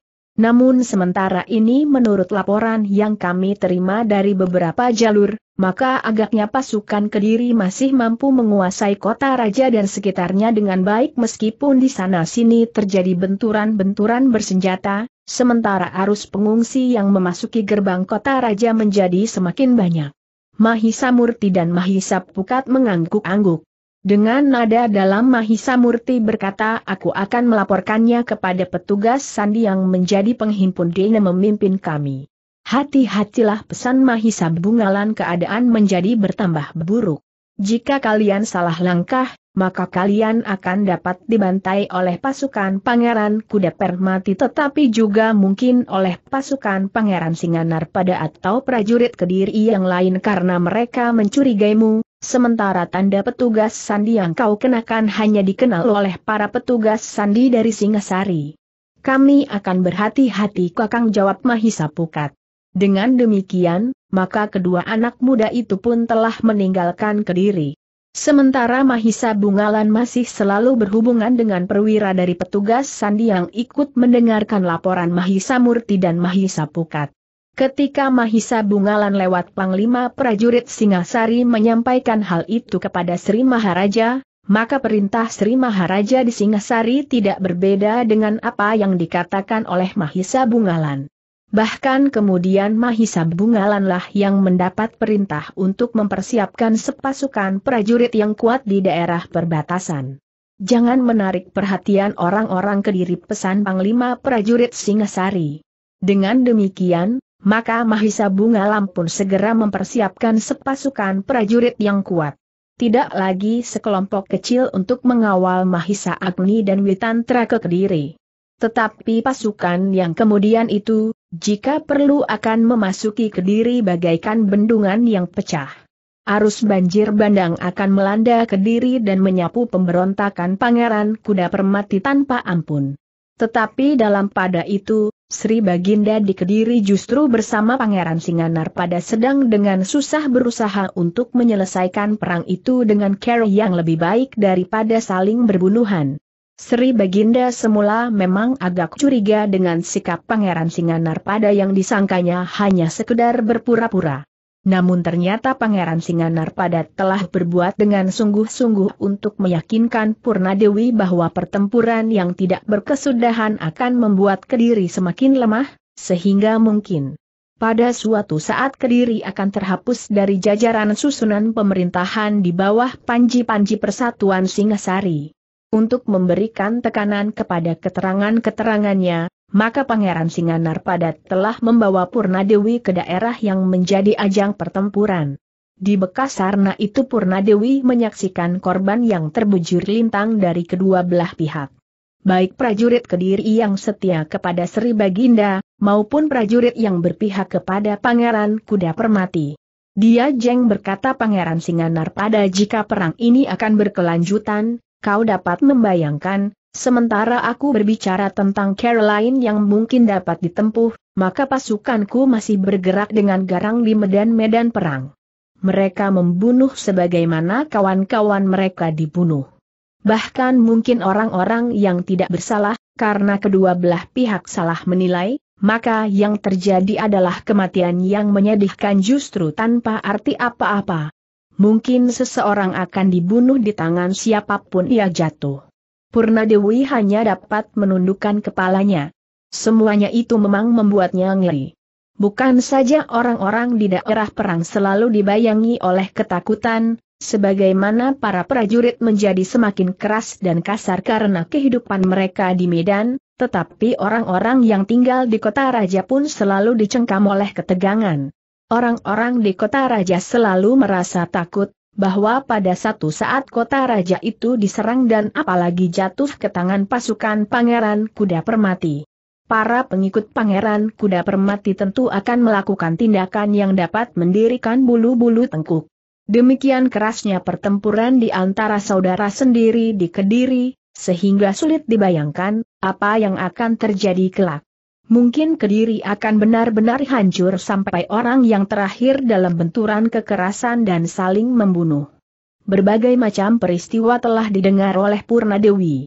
Bahkan sekali-sekali air matanya tidak dapat ditahannya lagi jika ia mendengar cerita yang pedih dan sangat menyakitkan hati. Purna Dewi pun juga mendengar kisah sepasang pengantin baru yang melarikan diri dari tangan pasukan Pangeran Kuda Permati yang garang di medan perang. Mereka ditangkap dan hampir saja terjadi peristiwa yang sangat menyakitkan hati. Namun keduanya berhasil melarikan diri dengan menggali lubang di malam hari, menyusup di bawah dinding sebuah bilik yang dipergunakan untuk menyimpan mereka, sebelum pada pagi harinya, laki-laki dari sepasang pengantin itu akan dibunuh, sementara istrinya akan tetap berada di tangan prajurit-prajurit yang menjadi buas. Namun ternyata bahwa perempuan yang malang itu tidak sempat menikmati kebebasannya ketika keduanya dikejar oleh para prajurit pangeran kuda permati, maka perempuan itu terluka parah oleh anak panah di lambungnya. Meskipun keduanya berhasil menyembunyikan diri, tetapi luka parah itu tidak dapat diobati lagi. Perempuan itu meninggal di pelukan suaminya. Sementara itu, setelah menguburkan istrinya di tepian sungai yang berpasir, maka laki-laki itu berusaha untuk menuju ke kota raja. Tetapi malang baginya. Di tempat ia mendekati kota raja telah terjadi pertempuran yang sengit antara pasukan pangeran kuda permati dan pasukan kediri di daerah perbatasan. Dalam pertempuran itu, laki-laki yang malang itu terbunuh oleh prajurit kediri yang marah karena sergapan pasukan pangeran kuda permati yang tiba-tiba. Dalam kemarahan mereka memburu pasukan pangeran kuda permati yang menarik diri sekelompok prajurit menemukan laki-laki yang kehilangan istrinya itu bersembunyi. Namun laki-laki itu tiba-tiba menjadi ketakutan dan melarikan diri. Tetapi ujung anak panah telah menembus punggungnya. Pasal saat terakhir sebelum ia menghembuskan nafasnya yang terakhir, ia sempat menceritakan peristiwa yang pahit dari dirinya itu. Prajurit-prajurit kediri menyesalkan. Tetapi orang itu kemudian sudah mati. Dalam keharuan itu, Purna Dewi mendengar Pangeran Singanar pada berkata di Ajeng. Ada satu cara yang mungkin dapat ditempuh. Mungkin akan berhasil tetapi mungkin juga tidak. Tetapi mudah-mudahan usaha ini dapat berarti bagi ketenangan hidup rakyat Kediri. Tiba-tiba saja Purna Dewi menangis. Dalam isaknya ia berkata aku mengerti yang Kakang Mas maksudkan. Kakang Mas ingin mengirim aku kepada suamiku agar aku membujuknya untuk menghentikan perlawanan. Pangeran Singanar pada menarik nafas dalam-dalam. Dengan nada datar ia berkata panggirai tamu tajam sekali. Kemudian terserah kepadamu.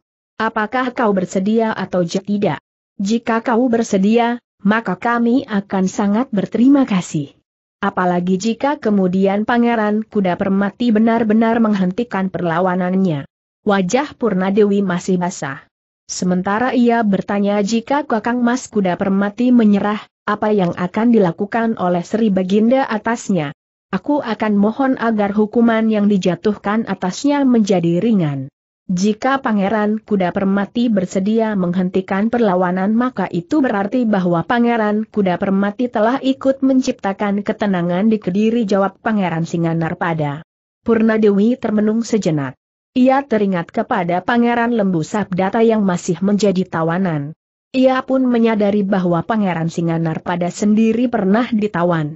Memang kadang-kadang timbul pertanyaan, apakah langkah Pangeran Singanar pada itu bukan sekedar Carrie yang licik untuk mertangkap suaminya dan kemudian membalas dendam dengan Carrie yang kasar?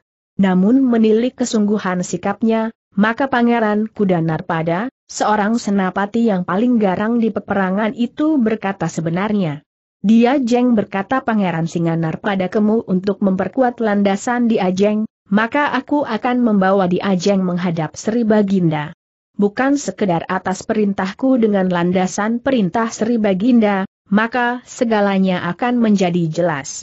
Masa depan Pangeran Kuda Permatipur akan dapat dipertanggungjawabkan berdasarkan sabda Sri Baginda. Jika sekedar janji yang akan diberikan, namun kemudian tidak berkenan di hati Sri Baginda, maka janjiku itu masih akan dapat terlepas karena nilainya lebih rendah dari titah Sri Baginda. Tetapi jika Sri Baginda sendiri yang berjanji, maka janji itu akan merupakan sabda raja yang tidak akan berubah. Purna Dewi masih ragu-ragu. Namun ia merasakan kesungguhan usaha para pemimpin di Kediri. Untuk beberapa saat Purna Dewi masih tetap berdiam diri. Satu pergolakan yang sengit telah terjadi di dalam dirinya. Sementara itu, Pangeran Singanarpada masih berkata selanjutnya di Ajeng. Segala sesuatunya memang terserah kepadamu. Namun aku selalu teringat akan kata-katamu, bahwa kesetiaanmu kepada suamimu adalah kata nuranimu. Satu pertanyaan yang barangkali tidak usah kau jawab, bagaimanakah kesetiaanmu kepada Kediri? Tanah kelahiranmu. Isaknya yang sudah mereka tiba-tiba telah menyesak lagi. Tetapi Purna Dewi sama sekali tidak menjawab. Baiklah di Ajeng berkata Pangeran Singanar pada aku tidak menunggu jawabmu sekarang. Terserah kepadamu, kapan saja kau akan memberikan jawabanmu. Tetapi yang perlu kau ingat, bahwa setiap hari berapa orang kediri terbunuh di peperangan. Semakin lama aku harus menunggu, maka kematian itu akan bertambah-tambah. Tangis Purna Dewi menjadi semakin meninggi. Di sela-sela isaknya terdengar suaranya kau telah menyudutkan aku kakang mas. Tidak jawab Pangeran Singanar pada dengan serta-merta aku tidak bermaksud demikian. Segala sesuatunya terserah kepada pertimbanganmu.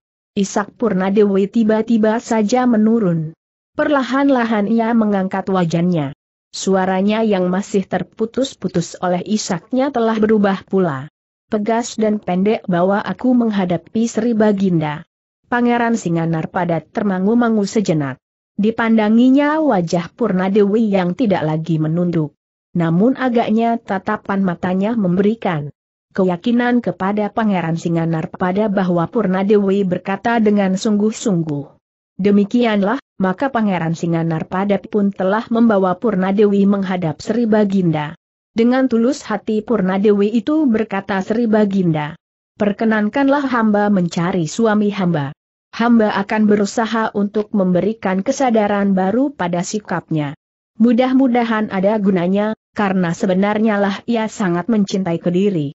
Tetapi ternyata ia mempunyai care tersendiri untuk menyatakan cintanya kepada Kediri itu. Sri Baginda menarik nafas dalam-dalam. Dengan suara lembut ia berkata aku mengerti Purna Dewi. Kuda Permati memang sangat mencintai Kediri. Tetapi ia tidak mengingat kepentingan yang lebih besar dari sikapnya sendiri untuk menyatakan cintanya kepada Kediri. Karena itu, meskipun aku pernah gagal membujuknya, maka aku berharap mudah-mudahan kau berhasil melakukannya. Aku berjanji bahwa pengorbananmu dan pengorbanannya dengan melepaskan keyakinannya yang keliru akan aku pertimbangkan sebaik-baiknya. Karena aku yakin, jika Pangeran Kuda Permati bersedia menghentikan perlawanannya, maka pertempuran yang terjadi di mana-mana ini pun akan segera susut dan akhirnya padam sama sekali. Hamba mohon restu berkata Purna Dewi kemudian tetapi ada sesuatu yang hamba tidak tahu, di manakah suami hamba sekarang berada. Dan hamba pun meragukan, apakah hamba dapat melintasi perjalanan yang berbahaya ini. Hal ini akan dapat dipecahkan oleh Pangeran Singanar pada berkata Sri Baginda kemudian. Hamba akan berusaha untuk mendapat keterangan tentang gerak pasukan Pangeran Kuda Permati. Dengan demikian maka kami akan dapat menempatkan Diajeng Purnadewi sehingga ia akan diketemukan oleh pasukan Pangeran Kuda Permati berkata Pangeran Singanar pada. Aku sendiri bertanya Purnadewi. Kami akan mengantar Diajeng sampai satu lingkungan yang akan didatangi oleh pasukan yang menjadi pengikut Pangeran Kuda Permati. Bukankah dengan demikian dia Jeng akan dengan segera dibawa menghadap Pangeran Kuda Permati berkata Pangeran Singanar pada. Maaf Kakang Mas jawab Purna Dewi aku tidak berani melakukannya. Jika aku berada di antara para prajurit pengikut Kakang Mas Kuda Permati, maka ada beberapa kemungkinan yang dapat terjadi. Jika mereka tidak percaya bahwa aku adalah Purna Dewi, istri Pangeran Kuda Permati, maka nasibku akan menjadi sangat buruk. Aku akan dapat mengalami satu penderitaan yang paling pahit melampaui mati itu sendiri. Pangeran Singanarpada menarik nafas dalam-dalam. Yang disebut oleh Purna Dewi itu pun merupakan salah satu akibat peperangan yang tidak berkesudahan.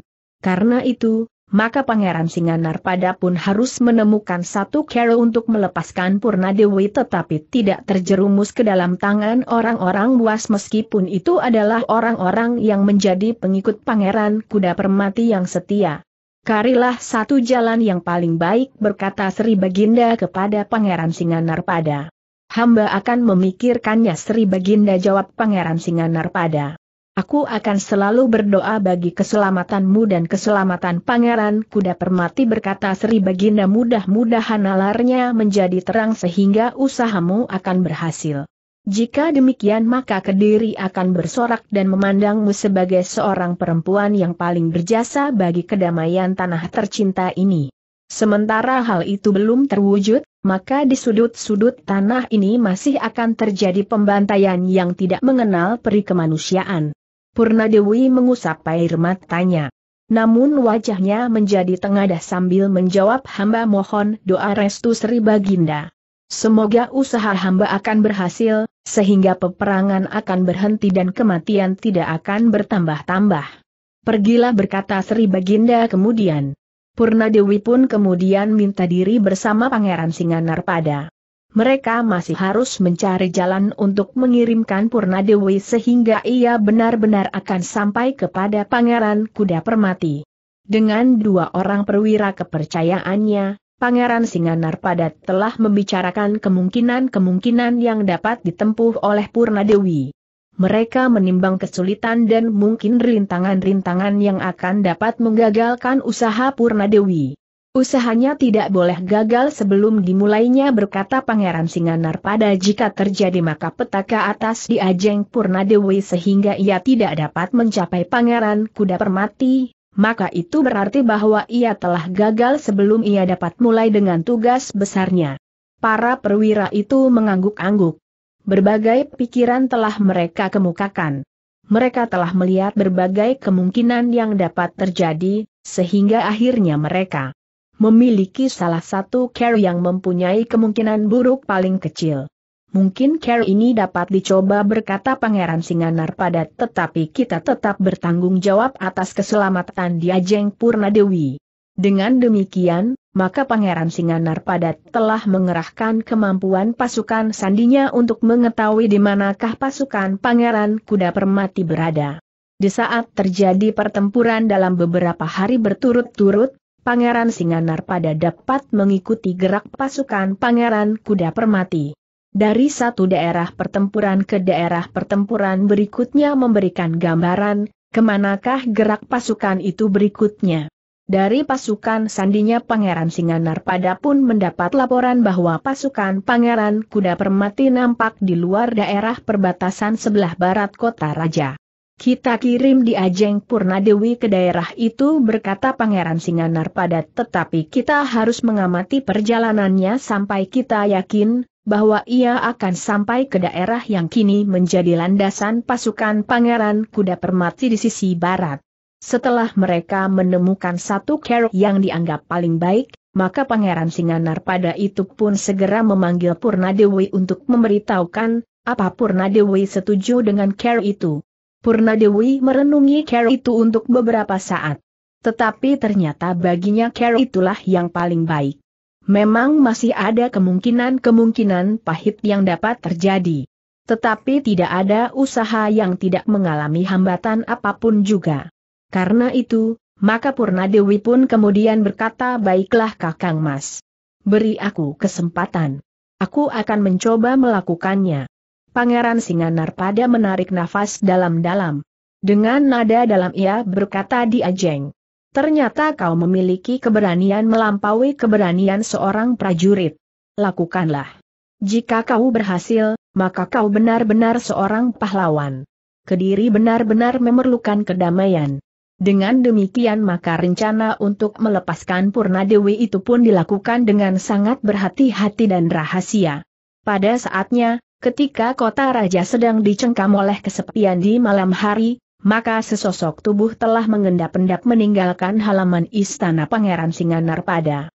Dengan sangat hati-hati orang itu telah berusaha diselimuti oleh kesenyapan. Hanya beberapa orang petugas sajalah yang masih tetap berjaga-jaga. Untuk mendekati sebuah barak prajurit kediri yang sedang beberapa saat lamanya orang itu menunggu. Kemudian dengan penuh kewaspadaan orang itu menelusuri jalan sempit di luar dinding barak itu. Namun ternyata segalanya berjalan dengan lancar. Ketika orang itu sampai ke pintu butulan, ternyata bahwa pintu butulan sama sekali tidak diselarak, sehingga orang itu perlahan-lahan telah mendorong pintu butulan itu sehingga terbuka. Sejenak orang itu mengamati keadaan di sekelilingnya. Namun kemudian ia pun telah menyusup masuk ke dalam lingkungan barak prajurit Kediri. Halaman barak itu memang sepi. Yang berjaga-jaga di gardu di halaman depan nampaknya agak segan-segan untuk berkeliling. Beberapa orang di antara para penjaga itu sudah duduk terkantuk-kantuk, sehingga tidak seorang pun di antara para penjaga itu yang melihat apa yang dilakukan oleh sesosok tubuh yang memasuki halaman itu dari pintu butulan. Dengan cekatan, orang yang berhasil memasuki halaman barak prajurit Kediri itu berusaha menemukan sebuah ruang yang dijaga secara khusus. Namun ternyata bahwa dua orang penjaga ruang yang khusus itu duduk sambil mendekur. Tombaknya tersandar pada dinding. Nampaknya para penjaga terlalu percaya bahwa orang yang ada di dalamnya itu tidak akan mampu berbuat sesuatu, karena dinding itu memang dibuat secara khusus. Di dekat kedua penjaga itu terdapat dua buah bumbung yang nampaknya baru saja mereka pergunakan untuk minum. Ternyata bahwa minuman merekalah yang telah membuat keduanya menjadi mabuk, karena di dalam minuman itu terdapat biji kecubung.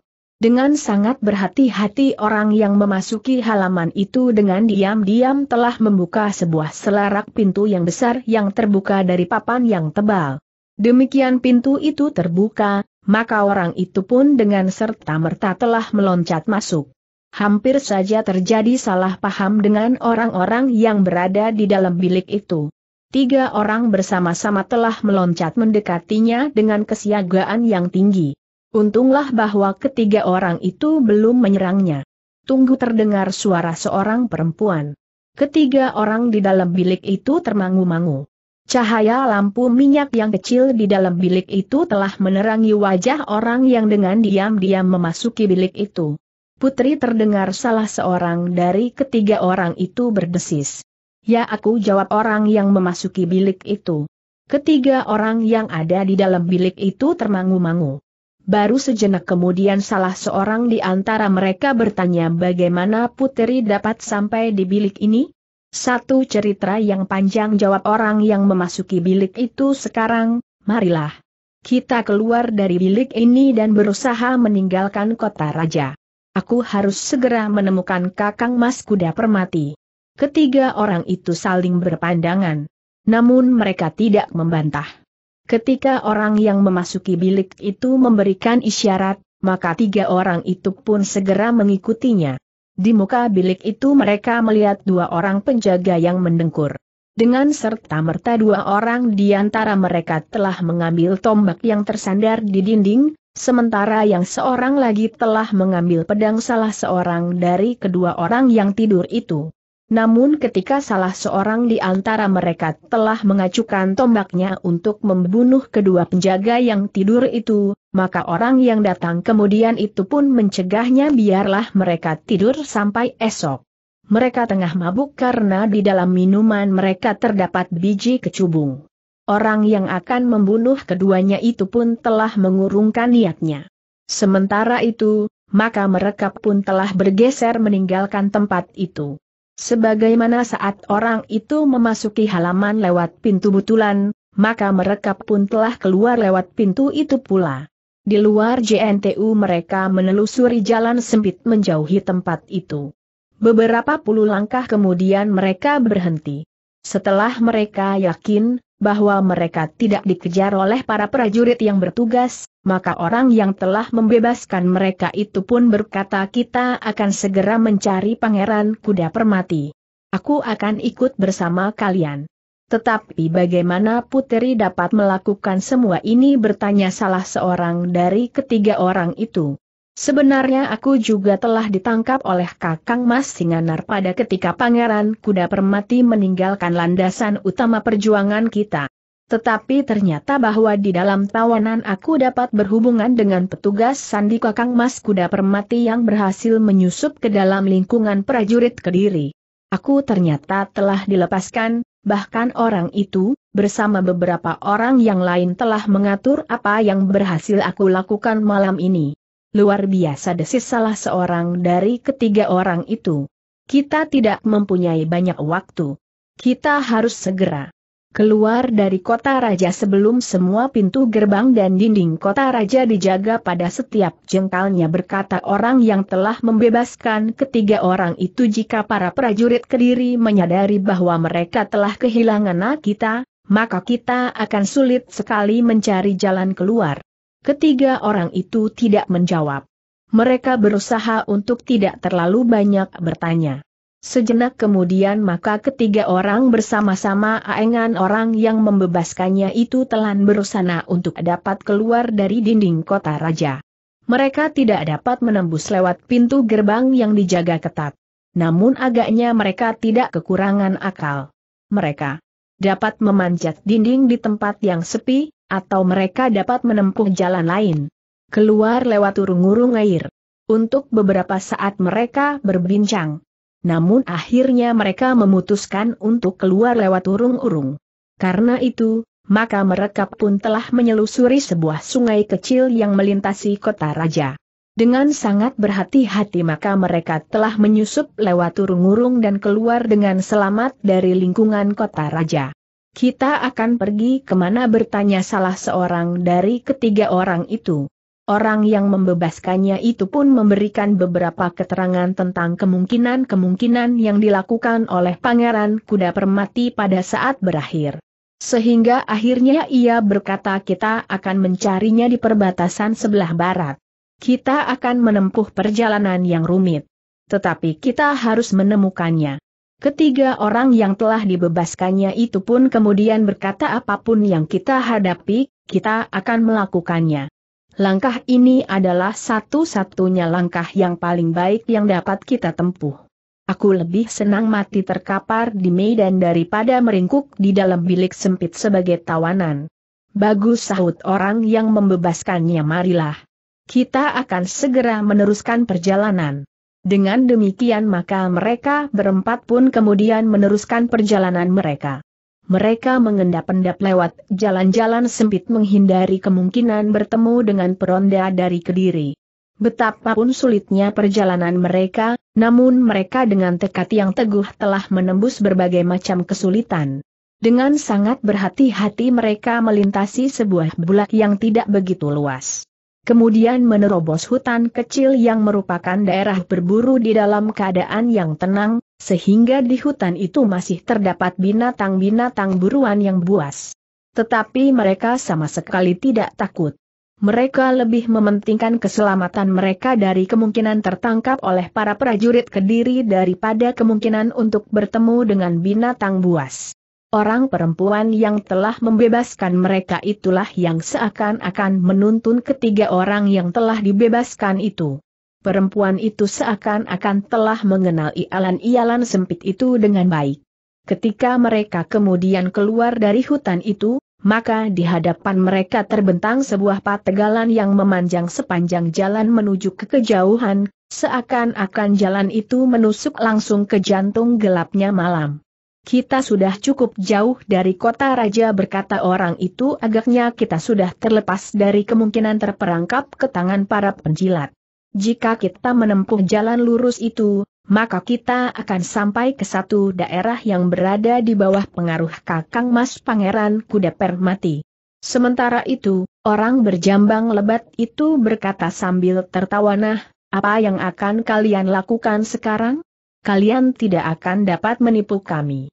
Kau sangka dengan menyebut nama Putri Purnadewi, maka segala sesuatunya akan dapat berjalan sebagaimana kau inginkan. Apakah Putri yakin bertanya salah seorang dari ketiga orang itu?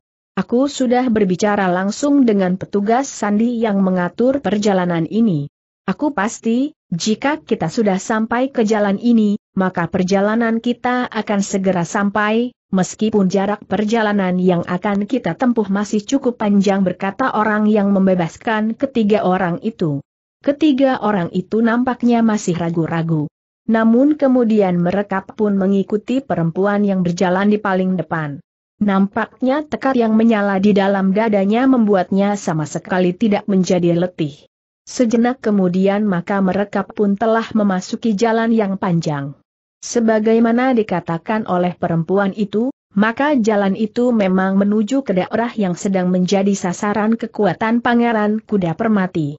Dalam beberapa hari terakhir, pasukan Pangeran Kuda Permati nampak di sekitar perbukitan di ujung jalan itu.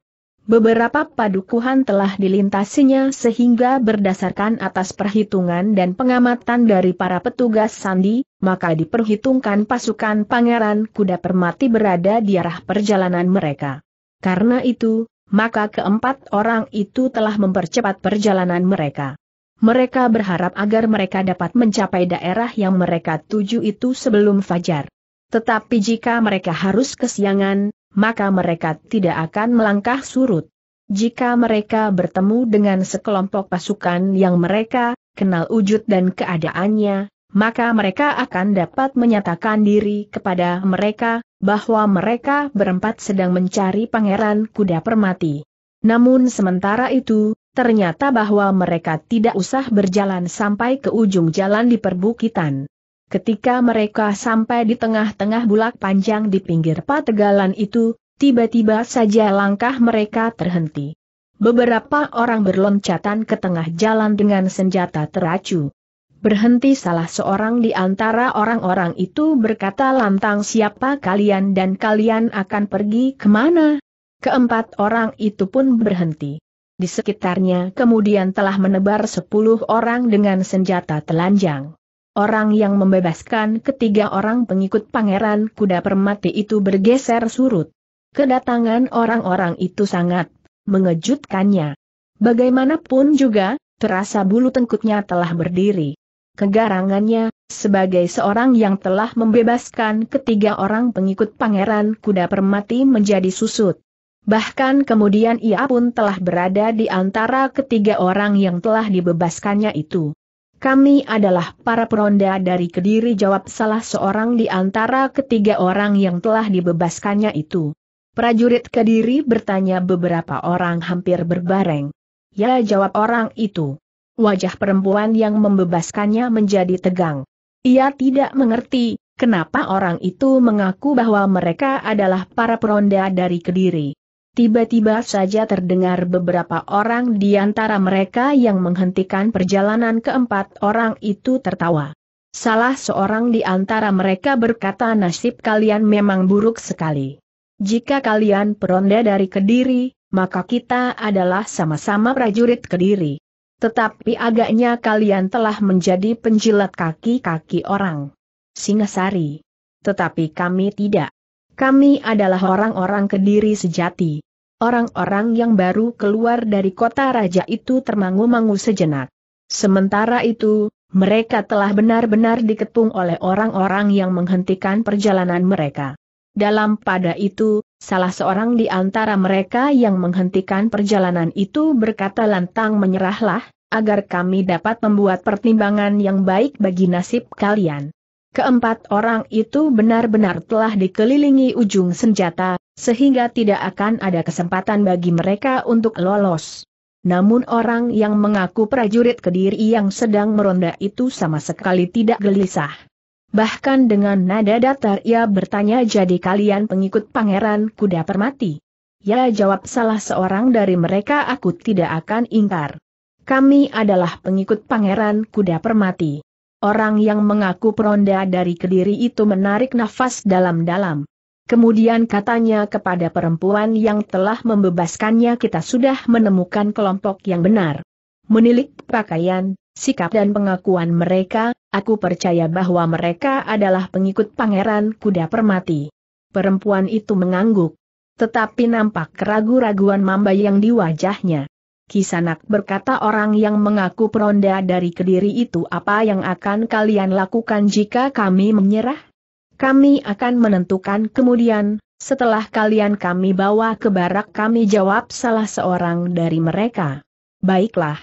Kami menyerah jawab orang yang mengaku peronda dari Kediri itu tetapi ketahuilah, bahwa sebenarnya kami bukan peronda dari Kediri. Kami adalah pengikut Pangeran Kuda Permati sebagaimana kalian. Omong kosong teriak seorang di antara mereka sambil melangkah mendekat, jangan menipu kami. Kau sangka dengan care itu kau akan selamat.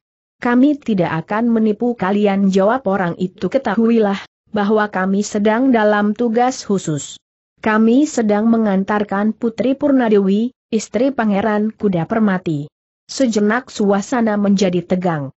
Sepuluh orang yang berdiri melingkari itu memandang seorang perempuan yang berada di antara ketiga orang itu. Aku tidak percaya. Aku pernah bertemu dengan Putri Purnadewi berkata salah seorang dari mereka. Inilah putri itu berkata orang yang mula-mula menyebut dirinya peronda dari Kediri. Biarlah orang itu maju. Aku ingin melihat, apakah benar ia Putri Purnadewi. Perempuan yang membebaskan ketiga orang itu pun kemudian dipersilahkan bergeser maju. Dengan kulit yang meremang, perempuan itu membiarkan dirinya diamati oleh beberapa orang yang mencegat perjalanannya. Orang-orang itu termangu-mangu sejenak. Namun tiba-tiba saja seorang di antara mereka yang mencegat itu berteriak bohong. Orang ini bukan Putri Purnadewi. Gila geram orang yang semula mengaku peronda dari Kediri putri ini adalah Putri Purnadewi. Perempuan ini sangat cantik berkata orang yang bertubuh kekar dengan kumis dan jambang yang panjang aku tidak percaya jika perempuan ini istri Pangeran Kuda Permati. Maka mungkin istri Pangeran Kuda Permati ada di sini. Aku tahu bahwa istri Pangeran Kuda Permati berada di landasan utama di sisi sebelah utara. Bagaimana mungkin Putri Purnadewi berkeliaran di sini bersama kalian bertiga? Ceritanya cukup panjang jawab orang yang mengaku sebagai peronda dari Kediri nanti, jika kami telah menghadap Pangeran Kuda Permati, kami akan menceritakan. Nah, sekarang, bawa kami kepada Pangeran Kuda Permati. Tetapi orang itu tertawa berkepanjangan. Katanya jangan mencoba membohongi kami.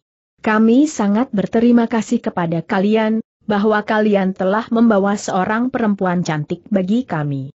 Nah, dengan demikian maka tugas kalian telah selesai. Sepantasnya lah bahwa kalian bertiga harus dibinasakan agar kalian tidak akan dapat mengatakan apa pun juga tentang kami. Gila. Jadi kau berani berbuat demikian terhadap Putri Purnadewi bertanya salah seorang dari ketiga orang yang telah dibebaskan oleh putri itu. Kami tidak percaya bahwa orang ini adalah Putri Purnadewi. Tetapi seandainya benar, maka tidak ada seorang pun yang akan dapat menyampaikannya kepada Pangeran Kuda Permati, sehingga kami tidak akan pernah mendapat hukumannya, sementara perempuan ini dapat kami simpan baik-baik sampai saatnya kami akan membunuhnya pula, agar rahasia kami tidak akan dapat diketahui oleh siapa pun juga. Gila. Jadi kalian memang sudah gila geram salah seorang dari ketiga orang yang sudah dibebaskan oleh Purnadewi itu. Apa pun yang kau katakan, kami tidak akan berkeberatan jawab orang berjambang lebat itu. Sejenak kemudian suasana pun menjadi semakin tegang. Purna Dewi benar-benar menjadi ketakutan. Tubuhnya terasa gemetar, sementara jantungnya bagaikan akan terlepas dari tangkainya. Orang-orang yang mengepungnya itu bergeser semakin mendekat. Rasa-rasanya memang tidak ada lagi jalan untuk keluar dari lingkaran itu.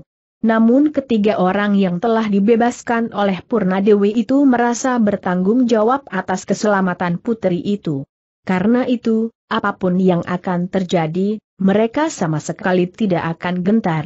Sementara itu, orang berjambang lebat itu berkata sambil tertawa nah, apa yang akan kalian lakukan sekarang? Kalian tidak akan dapat menipu kami. Kau sangka dengan menyebut nama Putri Purnadewi, maka segala sesuatunya akan dapat berjalan sebagaimana kau inginkan. Tetapi putri ini benar-benar putri Purnadewi salah seorang dari ketiga orang itu berteriak. Orang berjambang lebat itu masih saja tertawa berkepanjangan. Katanya kalian jangan menganggap kami terlalu dungu. Perempuan cantik itu sangat kami perlukan. Gila geram seorang yang lain kalian tentu belum pernah melihat Putri Purnadewi. Cukup bentak orang berjambang itu tiba-tiba aku sudah muak mendengarnya. Sekarang bersiaplah untuk mati. Perempuan itu akan kami bawa kembali ke sarang kami. Tetapi ketiga orang itu sama sekali tidak ingin mengorbankan Putri Purnadewi. Karena itu, maka mereka tidak lagi memikirkan diri mereka sendiri. Yang terlintas di dalam angan-angan mereka adalah keselamatan istri Pangeran Kuda Permati itu. Karena itu, maka ketiga orang itu telah bersiap menghadapi segala kemungkinan. Untunglah bahwa dua di antara mereka telah membawa tombak dan seorang yang lain membawa pedang.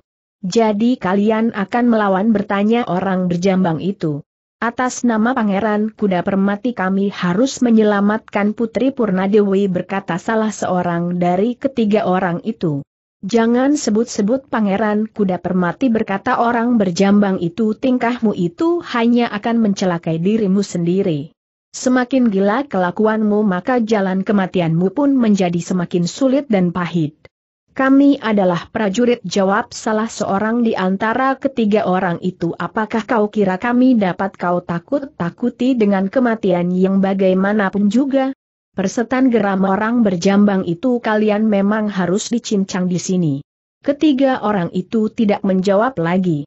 Ketika mereka melihat orang-orang yang mengepungnya bergeser semakin dekat, maka ketiga orang itu pun telah bersiap untuk bertempur.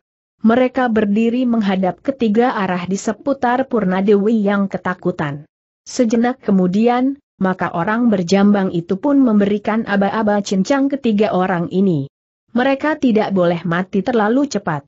Mereka terlalu sombong untuk dibunuh dengan tusukan di dada. Tetapi mereka harus mengalami satu keadaan bahwa mereka merasa sangat menyesal atas tingkah laku mereka. Orang-orang yang mengepung itu pun mulai bergerak. Senjata mereka mulai teracu-acu. Bahkan yang lain pun telah mulai menyerang dengan garangnya. Sejenak kemudian telah terjadi pertempuran yang seru. Ketiga orang itu telah bertempur dengan segenap kemampuan yang ada padanya. Ternyata ketiga orang itu memang memiliki kelebihan dari orang-orang yang mengepungnya. Ketiga orang itu adalah perwira yang mendapat kepercayaan dari Pangeran Kuda Permati sebelum mereka tertangkap oleh pasukan Pangeran Singanarpada. Karena itu, maka orang-orang yang mengepungnya itu tidak segera dapat mengalahkan mereka, meskipun jumlah mereka jauh lebih banyak. Namun bagaimanapun juga kemampuan ketiga orang itu, tetapi ketika orang-orang yang mengepung mereka itu bertempur dengan keras dan kasar, maka mereka pun segera mengalami kesulitan. Apalagi mereka masih harus melindungi Putri Purnadewi sehingga kedudukan mereka pun menjadi sangat terikat. Orang berjambang itu memperhatikan pertempuran itu sejenak. Tiba-tiba saja terdengar ia tertawa berkepanjangan. Katanya dengan suara lantang sehingga mengatasi suara benturan senjata nah, ternyata kalian tidak akan berumur sampai matahari terbit kalian akan mengalami kematian yang sangat berkesan di saat terakhir. Ketiga orang itu tidak menjawab. Tetapi mereka telah bertempur dengan segenap kemampuan mereka. Namun bagaimanapun juga, ternyata bahwa orang-orang yang mengepungnya itu pun prajurit-prajurit terlatih. Tetapi pengaruh keadaan mereka membuatnya menjadi semakin kasar.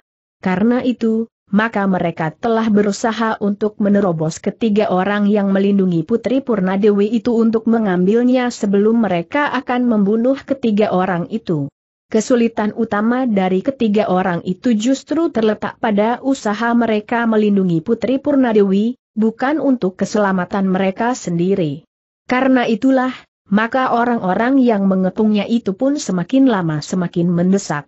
Bahkan kemudian perlawanan ketiga orang itu pun menjadi semakin kacau, ketika ada di antara lawan mereka yang tidak lagi merasa perlu bertempur tetapi mereka ingin sekedar menerobos masuk mendekati Purnadewi.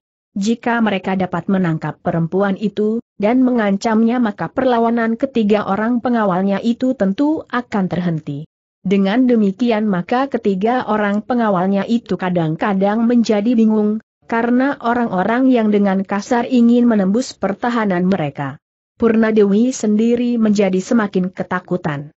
Orang-orang itu ternyata benar-benar tidak percaya bahwa ia adalah Purna Dewi yang menurut orang-orang yang mencegat itu sama sekali tidak masuk akal bahwa ia berkeliaran di malam hari bersama tiga orang laki-laki. Tidak ada seorang pun di antara mereka yang mengenal kami desis salah seorang dari ketiga orang perwira yang melindungi Purna Dewi itu. Dalam keadaan yang sulit itu telah terjadi sesuatu yang agak kurang dapat dimengerti oleh semua pihak. Dalam kekalutan yang tidak teratasi oleh ketiga orang pengawal Purna Dewi itu telah muncul sekelompok orang yang tidak dikenal. Mereka berpakaian seperti petani-petani. Bahkan dua di antara lima orang petani itu membawa cangkul, sedang seorang di antaranya membawa keranjang rumput. Tetapi keranjang itu masih kosong, sementara sebuah parang terselip pada keranjang itu. Lima orang petani itu tidak melarikan diri melihat pertempuran yang ramai itu. Tetapi ternyata mereka justru telah mendekati. Yang membawa cangkul dan keranjang itu pun telah diletakkan, sedangkan yang lain memperhatikan pertempuran itu dengan saksama. Hi, kenapa kalian berkelahi di sini berkata salah seorang dari para petani itu. Tidak seorang pun yang menjawab, sehingga dengan suara yang lebih keras petani itu berkata hi, kenapa kalian berkelahi di daerah Pategalan ini hi? Apa yang kalian perebutkan? Yang terdengar kemudian adalah jawaban salah seorang pengawal Purna Dewi kami tidak tahu. Orang-orang itu telah menyerang kami.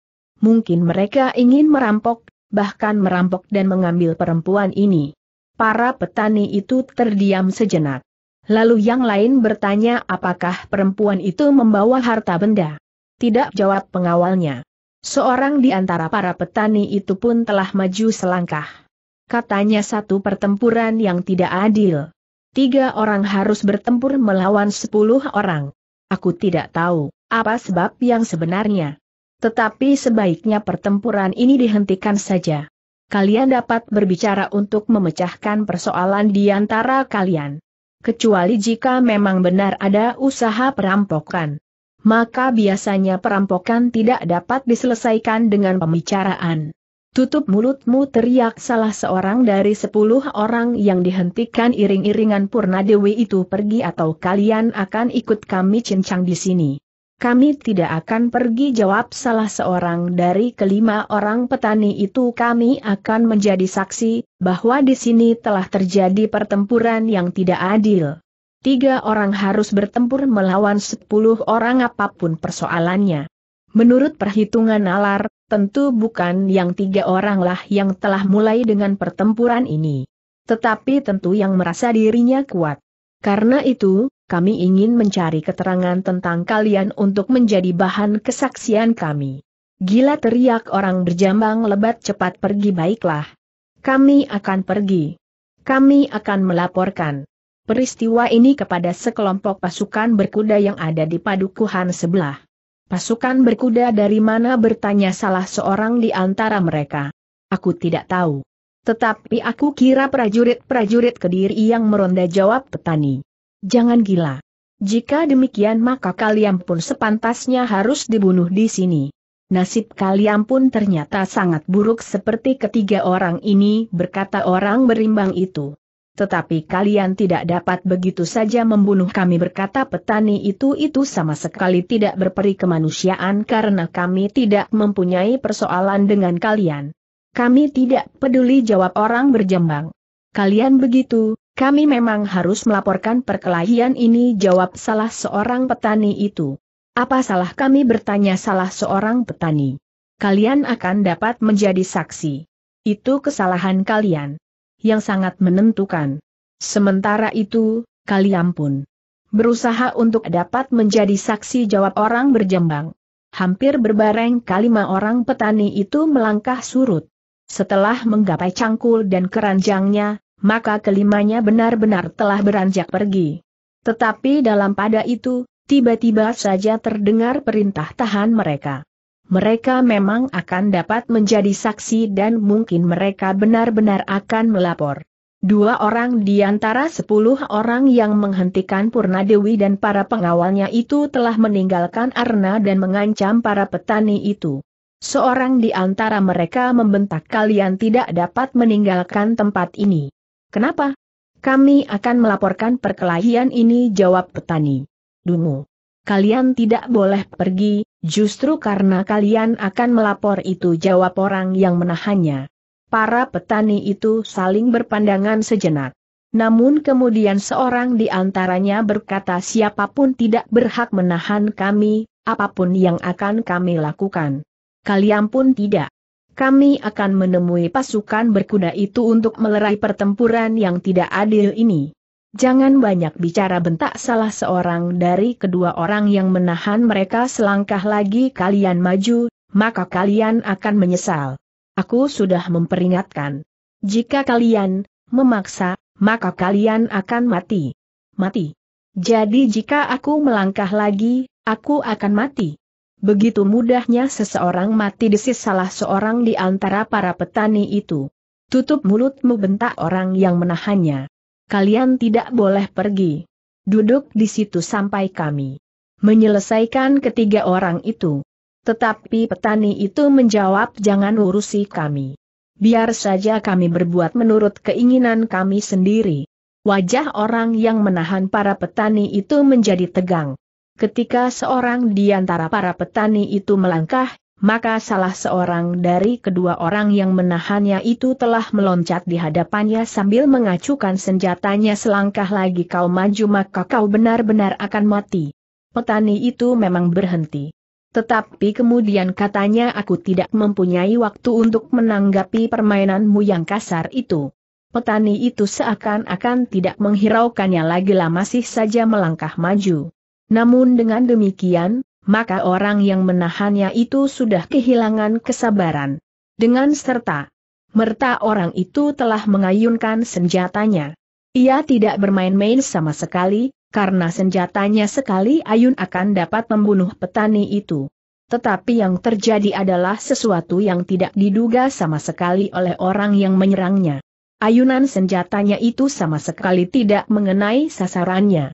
Bahkan karena ia mengayunkan dengan segenap kekuatannya, maka ia sendiri telah terseret oleh ayunan senjata itu, sehingga terhuyung-huyung. Dengan susah payah orang itu berusaha mempertahankan keseimbangannya. Tetapi petani itu tidak tinggal diam. Ketika orang yang menyerangnya itu hampir menguasai keseimbangannya kembali, maka dengan kakinya ia telah mendorongnya. Seakan-akan tenaga yang dikeluarkan adalah tenaga yang tidak ada artinya sama sekali. Namun akibatnya ternyata luar biasa. Orang yang menyerangnya itu terdorong beberapa langkah dan kemudian jatuh terjerembab di tanah yang berdebu. Dengan demikian wajahnya yang basah oleh keringat itu menjadi seperti ditaburi tepung. Namun bukan itu saja. Tubuhnya terasa sakit. Namun yang lebih sakit lagi adalah perasaannya. Petani-petani dungu itu ternyata mampu mendorongnya sampai jatuh terjerembab. Sementara itu, seorang kawannya yang melihat orang yang jatuh terjerembab, benar-benar menjadi marah. Dengan serta-merta, maka ia pun telah menyerang pula dengan senjatanya. Tetapi ia tidak mau mengalami peristiwa seperti kawannya itu. Karena itu, ia tidak lagi menganggap petani itu sama sekali tidak memiliki kemampuan sebagaimana kesalahan yang dilakukan oleh kawannya. Namun dalam pada itu, serangannya telah memancing pertempuran. Petani itu tiba-tiba pula telah mencabut parangnya di lambung. Parang pembelah kayu yang nampaknya sudah berkarat. Tetapi justru karena itu, maka nampaknya parang IIU memiliki kekuatan tersendiri. Sejenak kemudian orang itu pun telah terlibat dalam satu perkelahian melawan petani yang berparang itu. Sementara seorang di antara kedua orang yang telah terjatuh dan terjerembab itu telah bangkit sambil membenahi dirinya. Namun ketika ia melangkah mendekati petani yang sedang bertempur itu, maka petani yang membawa keranjang pun mendekatinya kau juga ingin berkelahi? persetan geramnya. Namun ia tidak menunggu lebih lama. Tiba-tiba saja ia sekali mengayunkan senjatanya mengarah ke kepala petani itu.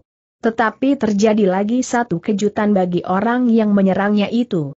Petani itu sama sekali tidak menjadi gentar. Bahkan dengan gerak sederhana ia menangkis serangan itu dengan keranjangnya. Benturan yang terjadi benar-benar mengejutkan. Keranjang yang wujudnya tidak lebih dari keranjang rumput itu ternyata mampu menahan serangan senjatanya yang pernah dipergunakannya di berbagai medan pertempuran. Karena itu, maka orang itu pun telah berbuat jauh lebih banyak lagi. Dengan cepat ia harus berusaha mengatasi kejutan itu. Dengan gerak yang sangat cepat, maka orang itu pun telah memutar senjatanya. Kemudian dengan gerakan yang sangat cepat telah menyerang petani itu dengan tusukan senjatanya. Tetapi ia benar-benar kehilangan akal menghadapi petani itu.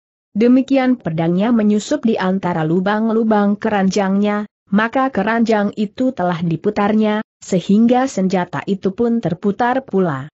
Demikian cepat dan kuatnya, sehingga ia tidak mampu berbuat sesuatu, sehingga ternyata senjatanya itu telah terlepas dari tangannya. Gila geram orang itu. Namun ia tidak sempat mengumpat lebih panjang lagi, karena keranjang itu telah terayun dan membentur kepalanya. Benturan itu memang tidak terlalu keras, sebagaimana ayunan itu pun tidak terlalu keras. Tetapi yang tidak terlalu keras itu telah membuatnya pening matanya menjadi berkunang-kunang. Hampir tidak masuk akal bahwa orang itu pun kemudian telah menjadi pingsan. Sementara itu, dua orang masih bertempur dengan sengitnya. Ternyata bahwa parang petani yang sedang bertempur itu adalah parang yang luar biasa. Bukan sekedar parang pembelah kayu sebagaimana wujudnya. Karena itu, maka lawannya, salah seorang dari kedua orang yang berusaha mencegah para petani itu meninggalkan Arna tidak mampu melawannya. Setiap benturan senjata telah membuat tangan orang itu merasa sangat sakit. Semakin lama semakin keras menggigit telapak tangannya.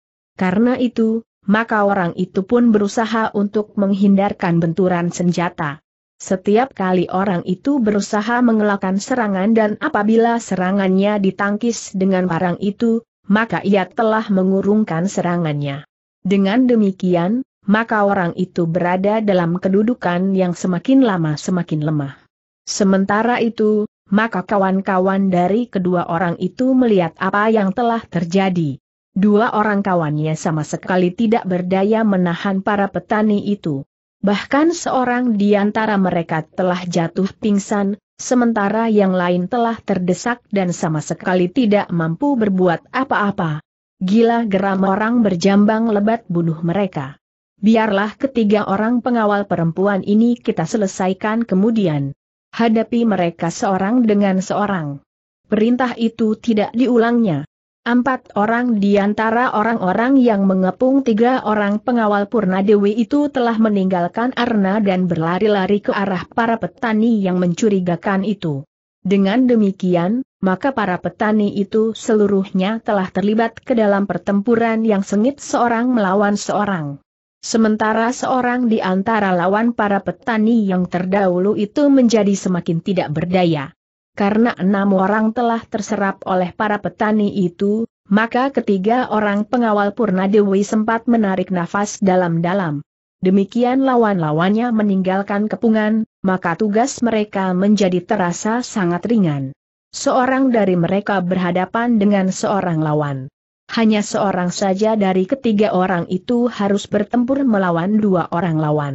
Namun ketiga orang itu adalah perwira titik yang terpercaya dari pasukan yang menjadi pengikut Pangeran Kuda Permati, sehingga dengan demikian maka dalam waktu dekat, empat orang yang berusaha untuk menahan ketiga orang pengawal Purna Dewi itu telah terdesak. Namun dalam pada itu, ketiga orang pengawal itu maupun Purna Dewi sendiri juga menjadi cemas. Mereka tidak tahu pasti siapakah kelima orang petani itu yang pasti bahwa mereka bukannya pangeran kuda permati. Jika di antara mereka terdapat pangeran kuda permati, maka mereka tidak akan berbuat demikian lamban. Mereka akan langsung menyerang, dan menghancurkan sepuluh orang yang telah berani mengganggu perjalanan Purna Dewi. Tetapi kelima orang petani itu telah mempergunakan cara yang aneh untuk membantu ketiga orang yang mengawal Purna Dewi itu. Namun apa pun yang akan mereka hadapi kemudian, tetapi mereka sudah terlepas dari tingkah laku sepuluh orang yang sangat menyakiti hati itu. Sebenarnya lah bahwa orang-orang yang mencegat perjalanan Purna Dewi itu tidak dapat bertahan terlalu lama.